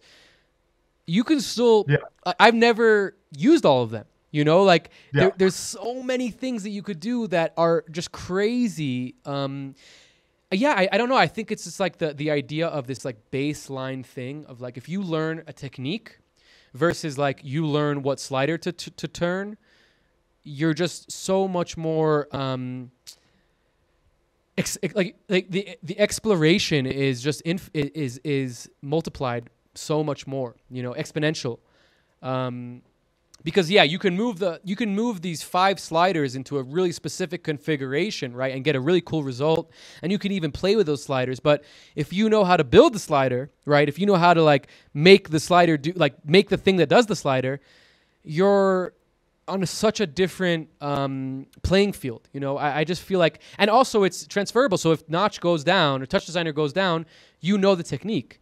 You know, I love that. I love that learning a technique. Like, how do you make reaction diffusion? Not Yeah. like how do I use the reaction diffusion node? How do I make reaction diffusion? You know, I feel like that's Yeah, so yeah, much more like- powerful. Learn and feedback. You know, Well, uh, blur and sharpen in a in a feedback. Yeah. Well, it's actually not even blur and sharpen. The beautiful thing about reaction diffusion is it's literally take away something and bring back the same thing over the course of time. That makes reaction diffusion. It doesn't have to be blur and sharpen. It could be. Um, I've seen I've seen reaction diffusion being done with like um, uh, like like uh, brightness and uh, darkness, or, or sorry, brightness and contrast. Um, you know, Okay. because it's really just you you add, so you blur and then you sharpen. Um, Yeah. And you take the blur and move the sharp to the blur. Yeah, exactly. You you And remove blur that. And exactly. then, yeah. and then in a feedback in a loop. But it's just a removing something and adding to it is what creates it. But I I just love that concept. Like even something as simple as like an LFO, right? Um, like Notch has oscillators. Like it has different ways to oscillate and and create kind of like you know back and forth um, um, cosines and sines, but it's done in a in a place of like um, I don't remember what the node is called. I think it's called a math node, but it's you know you don't have much control over. You have scale and frequency or, or whatever you know the the size of it and the speed of it. Whereas like in touch, when you open up an LFO or even like an LFO in real life, there's so much more to just the scale and the frequency, right? There's offsets and there's bands and there's, um, Yeah. you know, uh, uh, like like like transforms, and it's like, yeah, okay, maybe this the result is the same at the end of the day, but when you understand that, you can get to multiple different results in such different ways. I, I just love that aspect. All right, what do we got here? Yeah, no, totally. And and what you said really like the about the offsets and all the different pieces that you can now control, and then the fact that you can then like take like the length of something and Yeah, hook it to that. it, And yeah. now, yeah, it's just it's insane. And yeah, this is the it. Houdini path thing. So there's, you know, Where's Blender? Maya, 3ds Max. Yeah, I've seen different versions, different ones. I love Cinema 4, yeah, the people And hanging then who- themselves. they're just dying. Yeah, just both falling off bodies. Yeah. So I thought this, I've loved this. This has been around forever. I didn't know anything about it. And then I found this. I have it muted right now. But it's a movie here. Yeah, I mean, it's through it. crazy. That's going wild. forever. Like past mushrooms, this is the Houdini learning curve. They're just like, What is it? oh, looking at the end, like a fucking donut. That's awesome. Um, all right, show us what you got for us. I would love to see um, what we can what we can see from you. Um, Yeah, so I mean, I don't, I just have like I know- what I've been messing with recently. Okay. I know it was difficult for you to find something. Um, Brandon is the type of person that, and you know, I'm, I'm not like talking for you, but I, I just know you well enough to say this. But you're the type of person that will um, go super, super deep into something, learn it, understand it, and then like be like, oh fuck, it, I don't need this anymore. And you know, and, and like that that creates like a thing of like, okay, where are all like your old projects? You know, where's all the cool stuff to see? And it's like, um, well, you don't fuck with it anymore, so it doesn't matter. So it was uh Oh yeah, literally threw out all my notch projects last week. Uh, that's no joke. That's literally no joke. He literally threw deleted his notch projects. Instead of archiving them, you know, instead of putting them in a folder, don't touch, never look at, you deleted them. Yeah, I don't want to. Yeah, like what am I gonna do with them realistically? Give them to me. Nothing. Give them You're- to Obi, You're better at your your son, You're when he good when he gets into You're super good at notch. Yeah, but still, I like to see how other people do shit. It's cool. Yeah, it was fun to share with you because I really all all the stuff that I do mainly like I do it I feel like largely alone and uh showing it to you it was interesting because you were way better at notch than me but like when you saw what I did you were like oh because I used it for compositing like For I had a weird What com- for? For yes for compositing for iMag? Do you hear? Do you hear it say iMag?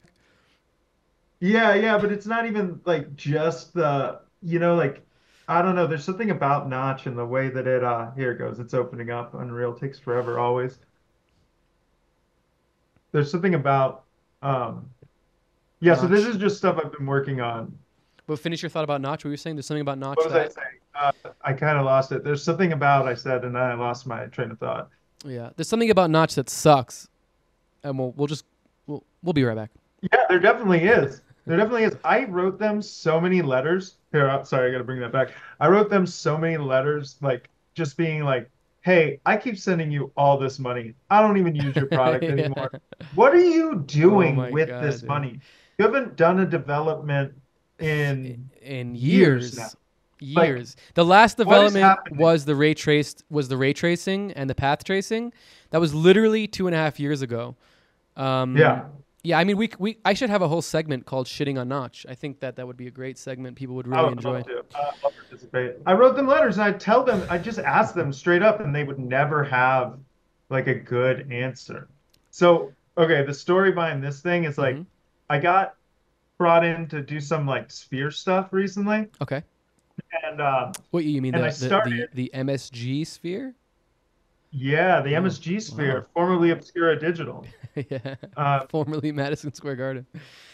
yeah. Formerly Las Vegas. Um, so like, I I just wanted to know, like, I did this sphere thing, and uh, and and afterwards I was like, oh, a sphere is just like challenging in general, like it doesn't listen to anything you want it to do, and it's just going to cause a problem a lot. So I'm going to just make some procedural things using it.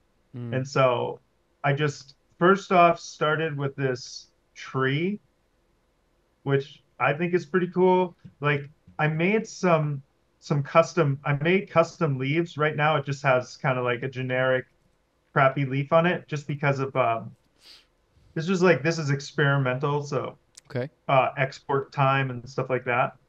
But yeah, like to be able to grow a tree like around all these objects like Super this cool. to me is so cool. And Yeah. then like this, these are just lines. Like these, look at the quality of this. Like this, every stone here is its own unique thing. hmm And all I did to make this was this is a box Right. and like some beveling and then some noise. What are those copied- um what are those like golden like line stuff? I love that. It's like some I shortest short like- shortest path thing. These are different. They're so yeah, these are um they were just like how can I use these shapes and derive a cool design? Super cool. So it's like um the way I found these was um I don't remember like it wasn't like a find shortest path thing. That's how I got the uh growth. uh-huh. That's how I got the initial growth of the tree. Uh-huh. is find shortest path. And I can show you that in the Houdini side. Here, let Oh, me sorry. open up that project and get this out of the way. I love it. Is there so i- is it just um wait, before we go into Houdini, I guess you opened it up already, doesn't matter. Yeah, yeah. No, I'm just opening something. Yeah, go on. Um like in that in that Unreal scene, is there um besides for like l- like lighting and and things, is there anything else happening in there? Like do can the like do the branches grow? Is there like some sort of wind or something like that? Oh, so the wind thing. Um, I like most of the trees. The I've done a couple other trees. You want to open it back up like- Unreal, but we're not we don't see it. Yeah, hold on. I'm just uh yeah, I'll open it up. Um it's open. I just have it hidden because my GPU is going wild on this yeah, end. I can tell. But we have everything. We'll we'll we have everything recorded. It's fine. We'll. we'll I just meant audio wise. Oh. Um, like I can hear it. It's like Oh, we can hear it. Okay, good. Um, so okay, so um, yeah, like I couldn't. Um, I've done stuff with Pivot Painter Uh-huh. to get the leaves uh, working. For some reason, every time I run Pivot Painter on this, Yeah. um, I've just gotten it like like a day and a half in. I'm like, are moving leaves really that important? um, yeah. It's So, so I'm I'm doing something wrong, or there's thing wrong with, or I'm just asking too much. I don't know. Like it's Well- a pretty crazy tree. Yeah, I mean, what is the what what is the inspiration for this design? Oh, just there's a sphere. That would be hard. Yeah, but I mean, the, but just- there's some crazy shit happening here. Oh, there's no inspiration. It's just like like what like what can I do? Shapes And I and- look kind of neat. I love So I I just- love the the the smoothness of the tree growing around. Like it doesn't look. I mean, obviously it's you know uh, digital fake, but like it, there's something about the organicness of it that looks really nice. I really like that. Yeah, that's what I love. Like yeah, like you can't like you could model this, I Oh, guess. you wouldn't want to model it. No, you would use like Yeah. a, you know, you would use probably similar to techniques of what you're doing of like, you know, here's a tree, it grows from here, it goes outwards. Make sure to not hit this piece. Like in SpeedTree, you know, you can, But I don't know add all these pieces. you would like. I don't think SpeedTree. you could do this in SpeedTree. you could. Definitely not as, definitely, definitely not as um, procedural and um, stylized. You know, like t- the thing with SpeedTree is, is that it's it's trying to mimic a, f- a physical based tree. So when you want to do anything abstract or stylized, it's a very difficult. You have to move a lot of sliders to make things work. Um, but yeah, I mean, I, w- I, w- I don't even know how you would get like that type of like just go back to the center again, like the way Yeah, that wait. This this is a different growth pattern. Mhm. Um, I, didn't- love this. Something happened with the leaf export that didn't No, work. even without the leaves, But I mean, I just a- love the, the the pattern of that is so cool. Yeah, this is a different growth pattern. Like I loved the bottom of the last one, which I'll go back to in a second. But um, I love the bottom. Like when you look down, it had this like where the tree was rooting from, and I was like, well, you're never like you wanted that part to be in the most interesting part. Right. So I just for this one stuck it like in a more It- centralized location. This they all come from here. Yeah, I mean, it looks really cool. It's like it, it it's it's organic. Like the other one is more organic. This one is kind of more um like you know symmetrical, like interesting geometry. Um, yeah, I Oh. kind of I like it more actually, but that's just like aesthetically my um. Yeah, no, I like I this like one more too. I would have used this one um, to show. I just the leaves weren't working yet. No, also the other one is way cleaner, and the other one is more like a design. You know. Yeah, Um, but this one, what I liked about this one is like now when you come over here Yeah. and it has leaves, like in Houdini, when I looked at it, it's like now you're looking out of this glass and you can see stuff in front of the window, Mm, that's cool. which I thought was neat. But again, like all of this is like, all of this is like, there's not even a purpose for this, yeah. you know? Well, the, well, will- you're trying to get you're trying to get a job at the Sphere. You're trying to work do content for the Sphere. It's a pretty good purpose. Well, yeah, but I mean, the spe this this this isn't going to be content at the Sphere. This doesn't even make sense for the Sphere. No, no, no, I know- mind. Yeah. Well, Yeah. well I'm, Like, could be interesting. It would only work on the inside right. because you can't go outside of the bounds Right. until we turn the background, which we're working on it. You know, we've almost turned all of Las Vegas into an LED, but oh man, imagine connecting the Sphere to like all the screens and having them all be like one like one canvas. Yeah, That'd be that would wild. sick. That'd be wild. yeah. Um, Okay. The Sphere is so funny. Have you seen the videos online of people talking about the actual experience? Of course.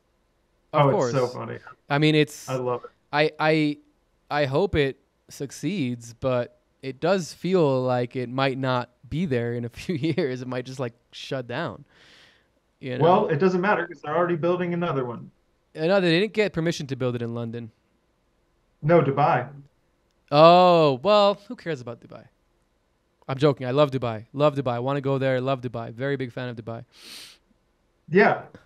Apparently, according to YouTube, it's socially acceptable to do like crazy things to these Instagram models there. So Oh shit. Dubai seems cool.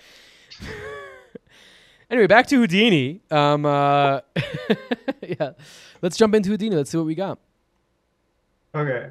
So that's just a little something. There's other stuff. There's other silly things in that project. Oh, wait. I just reinstalled Unreal, so I can't show that part because I have to reinstall the MetaHuman stuff. Um, the MetaHuman plugin. But Okay. um, wait, let me find. This isn't what I wanted to show. Maybe I'll you wanna you wanna shut Unreal so you don't get so much uh, performance hit. Sure. I mean, let's, Then let's yeah. this is Houdini. This was just learning the the rendering, like how do you make materials, how do you Mhm. put it in and get stuff to work, you know. love it. That was what this is about. And this is Karma. But what's cooler about this, this is actually kind of a cool little thing. Um, object context. Um, this one is this. And this is cool because it looks like fluid, but it's not. Um, this is just a cool Wow. little math stuff. Um, so it just grows, and it's really cool. But like, Oh. okay, like, that's really cool. Like, neat, neat. Okay, whoops.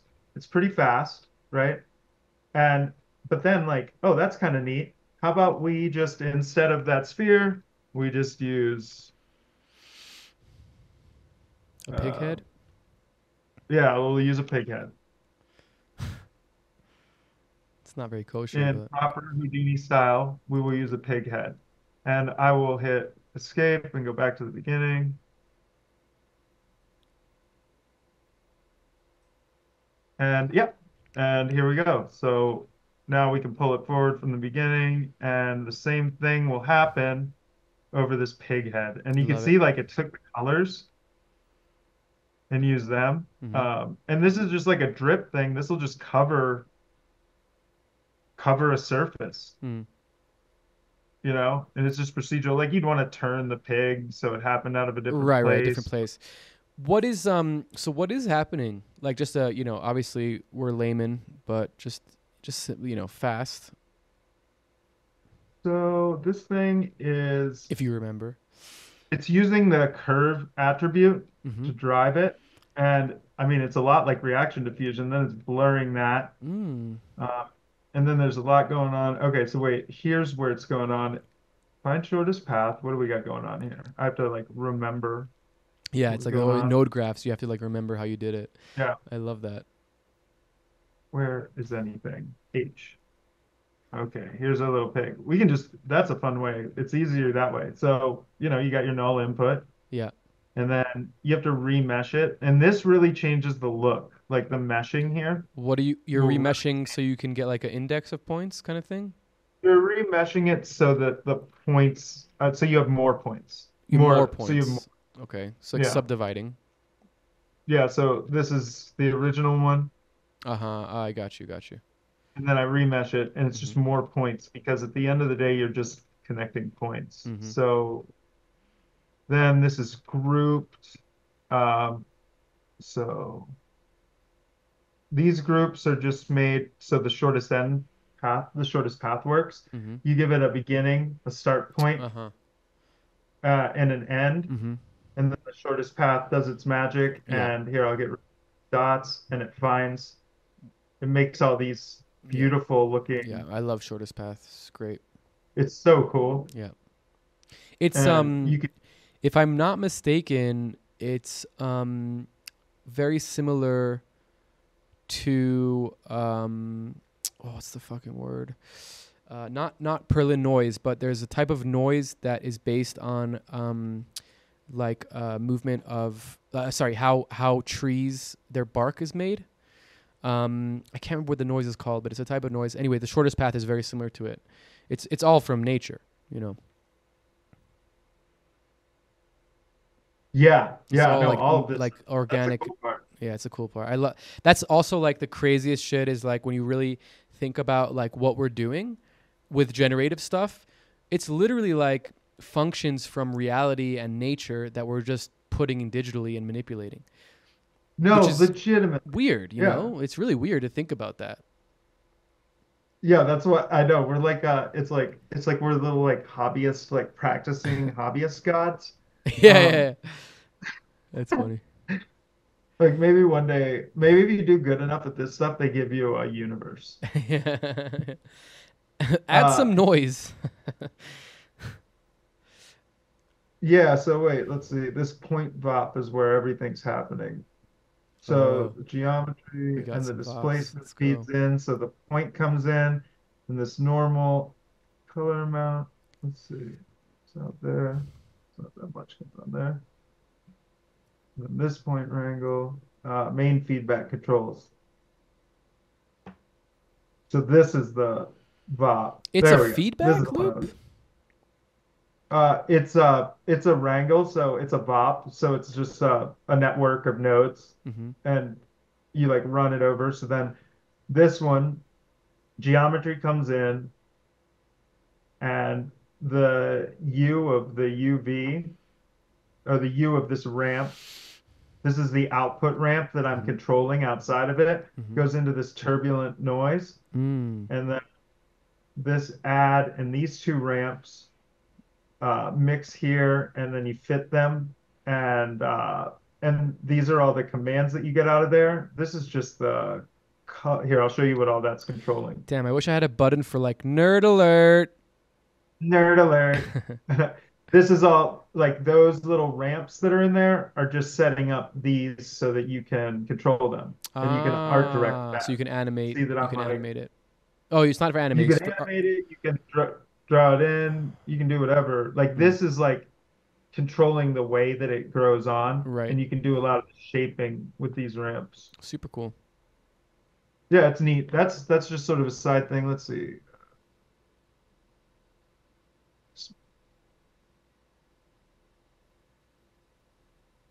Uh, dude, that just reminded me of the save and open thing. Reminded me of, of like this stupid joke that I was making forever. It's like, um, like I'd be teaching Unreal classes or something, and they'd be like, "Make sure to save your work." And I'd be like, "Yeah, if you live your life based on fear." yeah, if you're, if you're pussy, Yeah, live on the edge, bro. I don't save. I've been working on this project for two months. to leave it open. Oh my god, that's so. Commit. That gives me anxiety. Like that gives me No, real I'm just kidding. anxiety. I would never do that. That's Dude, you know what? You know what I really hate? You're like, it's like late at night. It's like three in the morning. You've been working hard. Things look great. You control S, control S twice, control S three times. You're like, okay, it's definitely saved. There's no, there's no w- way that I didn't do it. And then your fucking computer goes into sleep.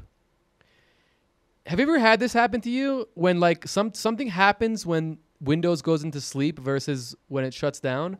And when I sometimes when I go into sleep, then the autosave will like save over what I did because it's still somehow like on in sleep mode. And I'll come back the next day and it's like not where I was or like something's changed and shit. Has that ever happened to you? in Unreal. In Unreal specifically? Unreal specifically, like weird stuff happens with saving. Yeah. And yeah, there's something like, with like the memory, like the RAM, because things are so stored in the RAM. it's the cache. cache and the RAM. And then when you go to sleep mode in Windows, it's a totally different operation where those things are still running. So like I don't know, I've, I've had like weird shit happen where I come back and it's like progressed, and I'm like, why? Like I didn't want it to progress. I wanted to sleep. Yeah. Have you messed with any of the machine learning stuff in Touch? Have you messed with any of the StreamDiffusion, you mean, or no? yeah, like oh that video the other day, the Torin Blanken. Yeah. Oh, the Yep. I've messed with um I've messed with uh facial uh recognition like not facial like um you know a feature um what's the word feature recognition Yeah, yeah. f- Yeah, I've messed with that too. It's like an Nvidia, the Nvidia It's thing. Nvidia. Yeah, it's it's like Nvidia suite. Yeah, I fucked with that a lot, and I, I, I did fuck a lot with um the Leap Motion, and that's all machine learning algorithms. But, but I, I none of haven't the none of the AI stuff. none of the new stuff. No, I've just been watching videos about it. I'm I'm actually scared to download it because I just feel like I'll just not leave it for days. You know what I mean?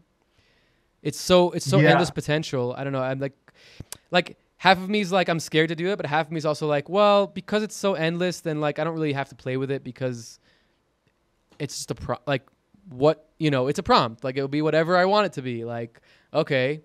Super cool, don't get me wrong, but almost like I'm not drawn to it because it's so open and I don't know, it's weird. I have very weird feelings about AI.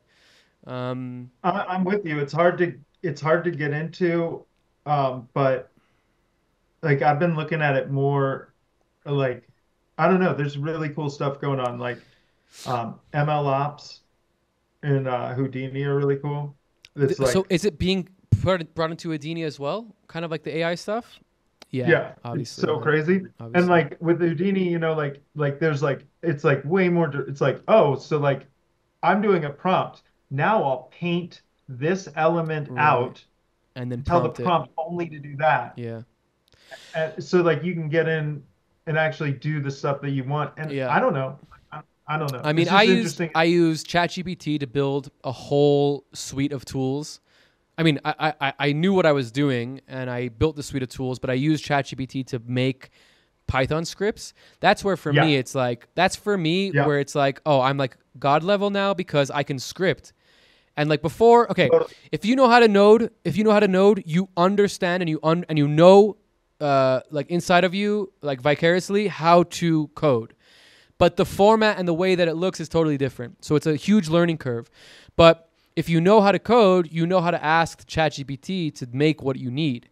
Um, so for me, it's like a huge, huge beneficial uh, tool for that um, because I feel like I can just, you know, I don't have to learn coding, but I can code now. Obviously, to a certain extent, right? But um, also weird, esoteric, hard to answer questions I found. Oh It- yeah, yeah. Forget like esoteric stuff stuff. like- I'll I'll ask it things about like what should I you know what can I say to my sister to make her um you know less uh Zionistic or not? that's not it's a bad joke it's a bad joke but it's a bad joke I'm joking, I'm joking. what you know That's but so funny. but no, they no like I mean just stuff like I'll have a question like the other day I was trying to put alembics I was trying to pass alembics to from Houdini to Unreal, which I've done many times, but often I don't know like what's going on with certain attributes aren't passed in the way I expect them to be. So I was just like trying to make sure like I was like where what's the correct are where are UVs placed oh um, even like that huh in Unreal? Like, are they on vertexes? Are points? Are primitives? Like, where are they stored? did it know And the it's answer like it's kind of convoluted, weird question that you can't just go to the manual for. right or even Google like who who's asked like- that question before ChatGPT is like, oh, this is Unreal handles this like this. was it and right Houdini handles this like this. It was right. But because I wasn't like, I wasn't asking it like, hey, how do you do this complete Right. task? I was asking it like, hey, what this little teeny, yeah this little teeny thing. yeah anything How do you do that? anything with like stable diffusion and imagery, I still personally the aesthetic for me is bothering, but it's very clear that in a year or two there won't be an aesthetic and that it will just literally tempor like the problem is like the temporal it doesn't understand temporal time the frames before but it's getting better and i i can't imagine it's not going to continue to get better um Oh, it def- yeah, it definitely like will. once once there's no AI aesthetic, then there's I don't I don't see any reason not to use it to generate things, um, you know, like visual or imagery.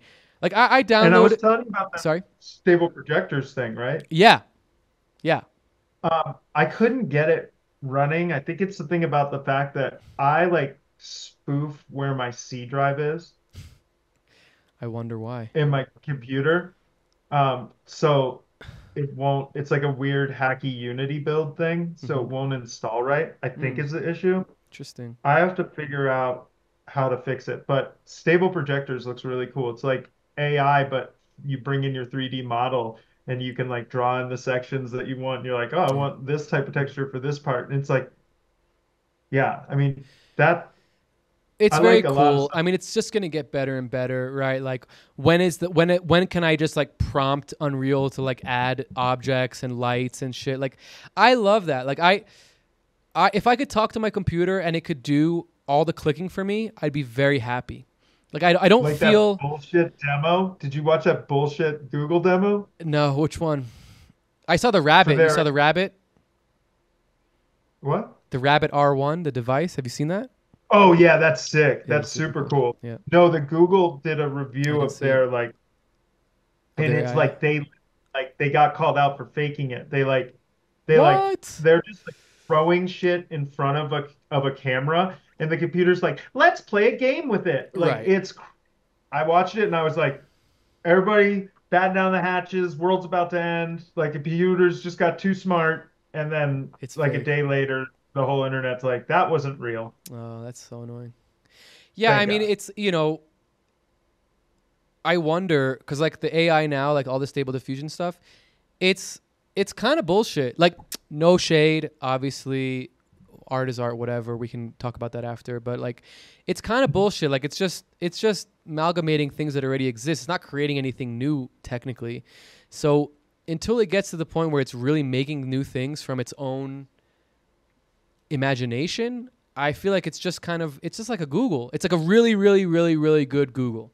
Right. It has Yeah. all the information in front of it. It can search any imagery and it can combine any imagery with like certain different scales and variations on the pixels. But really, it's not. It's not from nothing. You know. I, I feel like until it No, that- gets, until it does anything from nothing, then it's just. It, it's like machine learning, just the next level of it, and branded as AI. Yeah. Um, did you? Are we? Are we open here? Can we? Can we check out what we got? Um, I'm trying to find the right thing. I feel like this isn't it. Hold on one second. Let me look. Hold on. Two, two, just a second. I mean, this While isn't you're- out. I'm looking for something in particular. Hold on. Just let me try Yeah, take your time. Take your time. I will um, Sorry. say that um, you know uh, this is a new endeavor for me. I'm very excited about it. Um, you know, I want to do more of these with t- different people, different types of artists, different ones. creative people. Well, yeah, I mean more interesting than Brandon. That's not that's that's a low bar, but um, uh, um, but you know, please like and subscribe, comment. I want to hear what people are thinking and and um, you know how the experience is. Um, and uh, I think in the future, very soon, maybe when this is already out, I will uh, start a not a Patreon for money, but a Patreon where people that are interested can be part of it, um, and then I can in the Patreon uh, tell who the upcoming guest is, and then people can also make questions for them. Um, that's something that I find uh, will be very fun and interesting. Um, so yeah, Yeah, Look I out like for that's that. a good idea. back to Houdini. I'm trying to find this. Stu- oh, this is it. This is it. Okay, this the one that is opening. I think will be at least in the appropriate area Houdini Indie. where it's just it breaking down the Unreal. bro. Aren't you a aren't you a pro? No. I think you are. In my Oh, eyes, you are. Do you guys? Uh, I. Yeah, I was on um. Uh, these real early podcast episodes are, are fun. Yeah. Well, you're going to be a recurring guest. I think I'm going to try and uh, get you to come back uh, every few every few weeks, just because um, you're fun to talk to, and we can we can talk for hours. You know, Mr. Bill said the same thing, and then he had like Deadmau5 on, and now all of a sudden I don't know. I'm just kidding. yeah, yeah, yeah. Yeah, Well, you know, I might have to bump you, but we'll still get to you. Dude, um, okay. Open up, Houdini. we do have to. Um, well, we don't have to, but we should wrap up soon because we've been going. We've been going for like two hours. Um, Oh, really? Yeah, and I do have some post uh, questions that I want to ask you after this, but um. Oh, Ooh, this looks okay, nice. I like that node graph. Yeah, this looks messy. Yeah, No, no, check this let's- I just learned this though. I just learned that. I see it all the time, and I just, I just am always like, I don't know how to do it. You just hit up. Isn't that satisfying? What do you press? Shit, oh, oh yeah. Oh, look at that. That's sexy. Oh, that's beautiful. Yeah. Squ- So yeah, like that leaf that I had, in there. Like this thing is so sick. This is just let's see if we Leaf can find it. recipe. the- I love that you call it leaf recipe. That's so great. Yeah, look, this is how you make it. Like this. Yeah, that's it. It's Just. That's literally a you curve, draw- huh? Yeah, you draw a curve, and then you have wild. roughness and all these other things. Where is the output of this leaf? What's going on there? Oh, update mode is manual. Yeah, That always gets. Update mode is manual. Rookie. Oh, dude, it's so funny. Like, I'll think the whole program is broken, but you put it on an update mode manual so you can do things and it doesn't have to think for a year and a You know, half. a- as much as I like to shit on like softwares having bugs, nine times out of ten, it's user error. You know what I mean? yeah. Like when somebody's like, "Oh, this is broken," it's like, "No, you just forgot to pl- press the button." Well, this thing is super annoying because the reason I had Oh, on no. manual is because it's trying to cook this tree. So let me swap to a different mode here where I'm just viewing one. Okay, there we go. Is that is that in new in Houdini where you can view different modes at once? That's new, right? Uh, no, no, it's just like you could open as many of these as you wanted. Uh, that's the games context that I had it open with. It makes Mm-hmm. it easier to edit certain things. Mhm. Normally, Houdini opens up in build mode like this. Right. This is, I should have, this is what I meant to just open. But you had two But- contexts open at once. Like you had the Yeah, yeah, that's the games, and that makes it easy because you want to keep one open and keep referencing it. Uh huh. Interesting. So it's not new, but um, okay, so I'm gonna turn off that other one because it's trying to build that tree as Right. soon as I take it off in manual. So now I'll go, oh, okay, there's a Oh, there we go. Sick. And oh, the coolest part about this leaf that I found interesting Yeah. is like, okay, so if I want to color this whole thing with a ramp, Mm-hmm. right? It's hard because you want this part, like the the stem of a leaf kind of matches the the leaf Right. more in color once it starts, but it's like brown down here. Okay. So I'm just sharing the UV information Mm. from the this from the leaf with the stem or Mhm. the the with the stem. So all you do is make the first pixel brown. And then you do whatever colors and it just works because the U, U the UV is coming from the leaf. Interesting. And we? that one pixel gets stretched to be the whole color of the That's so cool. Could we see it? Yeah, and then when you're in here, like yeah, it's like a leaf recipe. It's so sick. Here, let's go in if it lets us. Okay, so yeah, you can control all the little things like the length. And you built this, or is this this is part of like Yeah, I built this. you built all of this? So you you exposed all the parameters to be able to move and stuff like that. Yeah. Wow, that's awesome. See, that's that's what I love about this kind of stuff is like, it, it's such it's such a um it's such a unique um like problem solving game because you're not just solving the problem of making a leaf, you're solving the problem of making a leaf with specific controls that you want to have. You know what I mean? Like you have to almost think to the future of like, oh, what am I going to want to do with this leaf? I, I just Yeah, look that. at this. Look at this. You can just oh look, it's simple. It's Mm, detailed. Nice. Oh, oh, oh, oh, oh. It's cool, right? Super cool. And then just like the whole thing is just so simple. Like Wow, that's awesome. and feathers work the same way in Houdini. It's so cool. Feathers are their new thing. It's the way you make feathers. It's very similar, but there's all these like different thoughts into like feathers. Like in for this, for instance, like one of the things is I'm this is only one thing, and then I mirror it. Right. Right, like, right. I see. Because the curve is only a certain is only half. Yeah, but a feather is not like that at all. That both sides are different, and they're actually like Mm, they're kind of like uniformly different.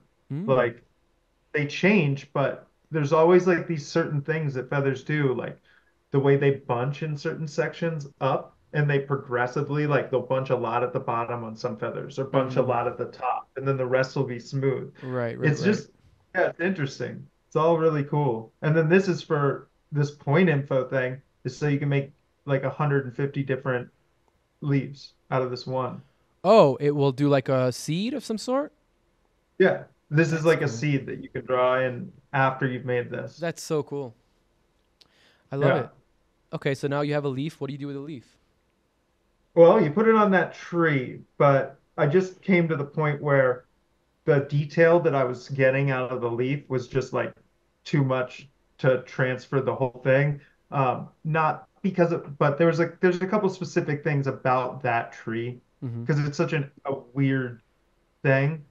Like I would pursue it if, you know, to to finish it, like if it was like a, a gig or something. But I think I got all I needed out of the exercise, which hmm was just to build the component pieces. And then from there it was like, yeah, like it's a bitch just to get the just to export the tree alone. Um, and then I wasn't, you should be able to pivot paint it and have all the leaves leaves waving. I haven't figured that out, but I'm really screwing up the scale to build the whole thing like it is. Like hmm I don't really, yeah. So I'm building it all off a find shortest path thing. Oh hmm my God. And uh let's see, that's that's right here. Like the way I was building that leaf every time is right. Whoa, what is this? Ooh. Ooh. I love it. I don't even. This is just a tree growing wrong out of a point. Yeah, man, you've always been interested in trees, I and the love tree stuff is this tree stuff is super cool. Yeah, so this is I guess I'm not sending it the I don't know what I'm sending in here. Maybe the input is wrong. Yeah, but anytime I start screwing this tree, we're if we're trying to hurry, we should just back out of this now. This will take forever. But there is a uh where's the thing that I want to show? The shortest path thing. Ooh. Oh, that's right. I have to be on a certain frame, and then it has to cook Oh, up till oh, there. oh.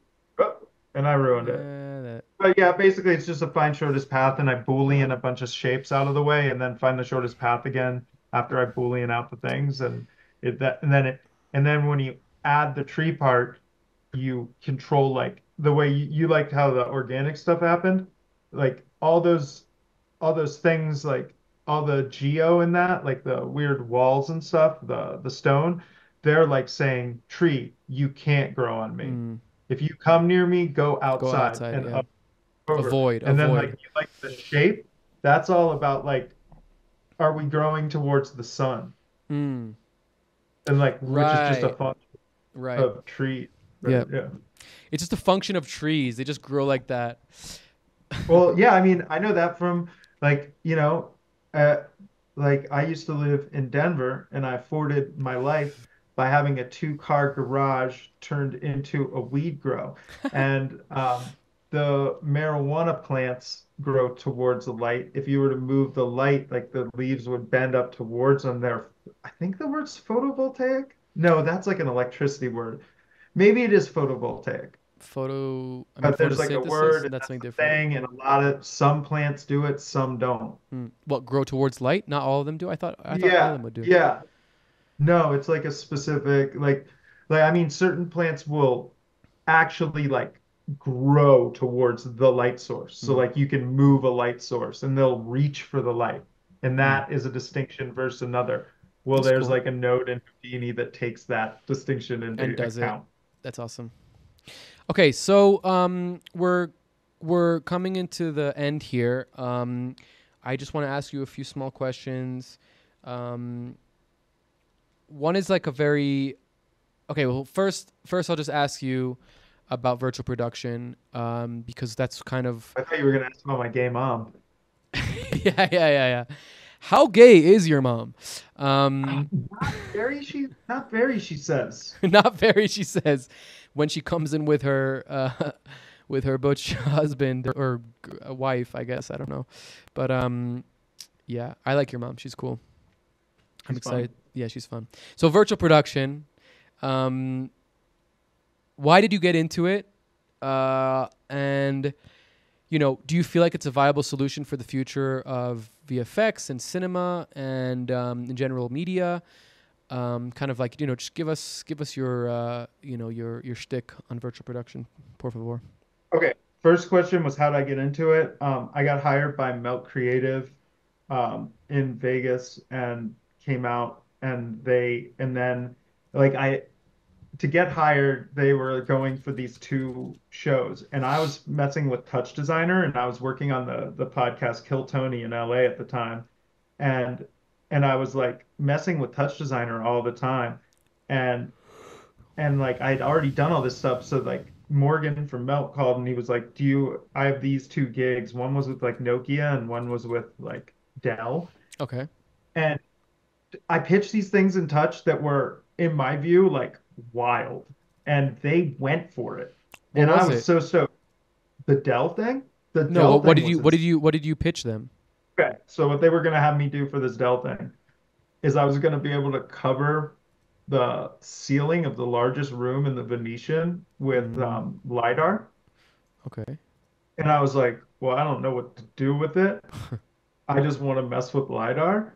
So I was like, and then we'll just use the crowd as like general noise to draw processes.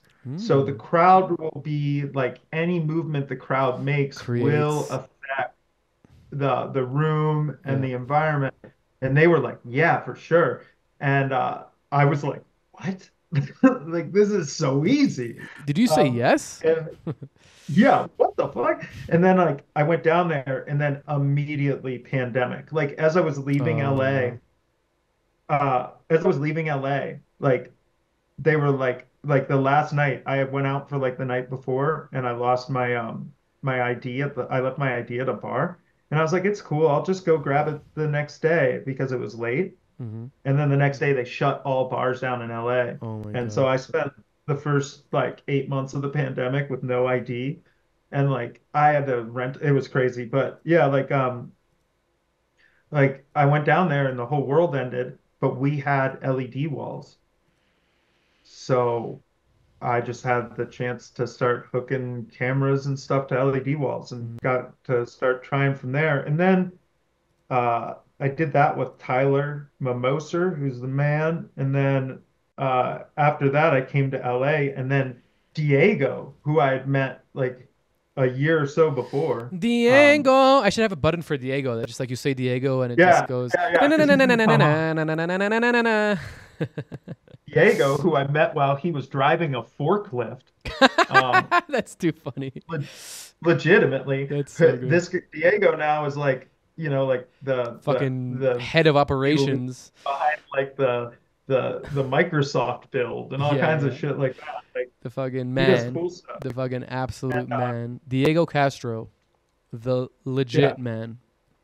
He's a legit man, and Yeah. he came out of nowhere. Like I knew he now works with Vello at Xite Labs, and I I was coming from like I moved here from Colorado in a roundabout way, and in Denver, you know, like you know, there were tons of people in the visual field who would love to work with Vello. Hmm Then I met this Guatemalan kid driving a forklift in LA, and now he's like the m- most He's valuable employee the fellow has. Yeah, yeah, yeah.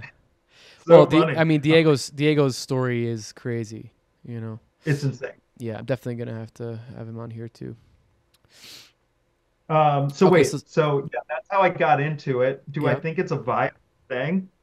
Um, yeah, 100%. Mhm. It's crazy where it is now, where there's like all, it's just like the only way to do it is with exorbitant amounts of money. And there's all these proprietary things and all these weird companies locking you out of doing anything. It was all about the democratization of filmmaking, and it's not like that right now. Yeah.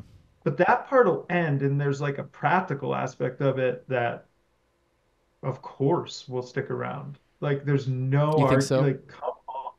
Yeah, yeah, there's certain aspects of it are too practical to lose. Like, even if it's not for the finest films, like, you know, the way that Xite uses it for like corporate clients, there's no Mhm. way that's going away. Right. Right. And also like the fact that the the heavy investment of the industry into it is so heavy, for lack of a better word, that like it would be crazy to go back. Um, yeah, I mean, I, I, I agree with you. I love it. You love it. It's interesting. I well, I mean, I there's things I love about it, but then there's it's also like, you know, I mean, right now it's hard to gauge it. We're coming off like a you and I got into this industry just for it to go on strike right after the Yeah, what the world ended, like a cold. Well, we we did like a. I I feel like we got so screwed because we did that that last year we did that Justin like the first part thing we did last year was Justin Bieber, and it was like okay, well it can't like get any better than this, right? Like fucking Justin Bieber, and I'm actually looking Yeah. for it because it was such a it was such a great like Dude, use no, case of virtual such the most production. impressive thing that I've seen. Like, it's the most impressive thing I've been involved with in virtual production, like the scope of it. And it was literally Diego, y- you and I. Yeah, yeah. Well, and Milton, but like And whatever. Um, What's that? and Milton, but whatever. Um, you know. Yeah, no, there was a team of people building the worlds and stuff, but I mean the VP side of it. Yeah, that that whole gig was crazy because um because we were basically like given nothing uh and we had to like make everything work and they were like very very uh you know, Justin Bieber only had 2 hours and we had to shoot three different sets. Um, when they were call cut the first time, I was like, I cannot be getting this right. Like they did did, like a take and a half, and they're like, cut. I'm like, what? That's it? He's like, "No, no, he has to go." We're like, "Uh, uh, uh okay." Okay. And what was really interesting, I think that like, you know, a lot of it was final picture. Most of it was re-rendered. I'd say like like like a lot of it was re-rendered. Um, but they used Unreal to re-render it, at least for as far as I know. Um, Yeah. But like this shot, a bunch of these shots are final picture, and it was green screen, so like obviously you have a lot of places to play with it. But you know, it was very it like for me, it was like you know I've been I, I was doing already virtual production for already like two years, and this was like the like the oh this is the best use case of virtual production. You have talent that can only be there for two for two hours. You have multiple sets that you want to shoot. How do you do it in a way that's not just like empty green screen? Nobody knows what the fucking thing is going to look like. Nobody knows. You know, Justin Bieber doesn't have anything to like react to. Um, Yeah. so I thought it was a really great use case for it. Um, I He just was watching it the whole time. yeah, dude. The- what- their their whole crew was going to monitor and be like, "Oh, look at that! Look at that!" Like that was, you know, if imagine if they were just on green screen the whole time. They were there and they were like, "Oh, well, oh, I look good," but like, what do we even? What are we doing? You know, like, We did five volumes in one day. yeah, and and remember that we had two different virtual, uh, two different tracking um things. Like you know, there was there was the we had we had the that was so stupid. It was we had we had Stype and um, OptiTrack, and it was like I don't even remember the reason. I think it was like to test to see which one is better. Um, the reason was like, uh, I mean, I think like, let's not name I any think- names of anybody, but yeah, yes. like somebody kind of muscled their way in there for the gig. yeah, And I remember getting told like they they they were there, and I was like, okay, sure, why? And then the whole day, one of the tracking systems that wasn't Stype did not work for one reason was not enough movement. It's too still. The other was there's water in the scene, and this was the- deal. was this mm. is this the original water? I feel like this is not the actual water. They must have. No, must that have- is the water. no way. The they didn't recomp it. Real? Yeah, that's the water. Huh. That's wild. Yeah, they had those giant fans on it, and the water is like tied to other external water. It's like composited, Yeah. but he's standing in the water. Yeah. Yeah, that was wild, and we all got COVID. Best part of the shoot Yeah, was we all got COVID. I coughed in your mouth. Yeah, last day I was like, I want to just get this over with. And the funny thing was, uh, I'll say a name. This was uh, directed by Cole Bennett, and I had no idea who he was, and he looked more like Justin Bieber than Justin Bieber did, like school Justin Bieber with like the long hair. right. And like I remember the first day just being like, "Oh, Justin's here," and then I was like, "Oh, that's Cole Bennett." So I get, That's so which is like funny. lyrical lemonade stuff, and I'm not like 12, so I don't know what that is. So like I go home with COVID, and I'm sitting there just like deathly ill in front of HBO, and the Juice WRLD documentary comes on, and Cole starts talking, and I'm like, "Hey, it's that guy from That's yesterday." so funny. That's really Yeah, funny. and then I ended up working around him for the next year, oh yeah, in the uh, and he's a he's a nice guy. He's definitely the uh, the nicest part of that whole um, Scene, yeah. thing. Yeah.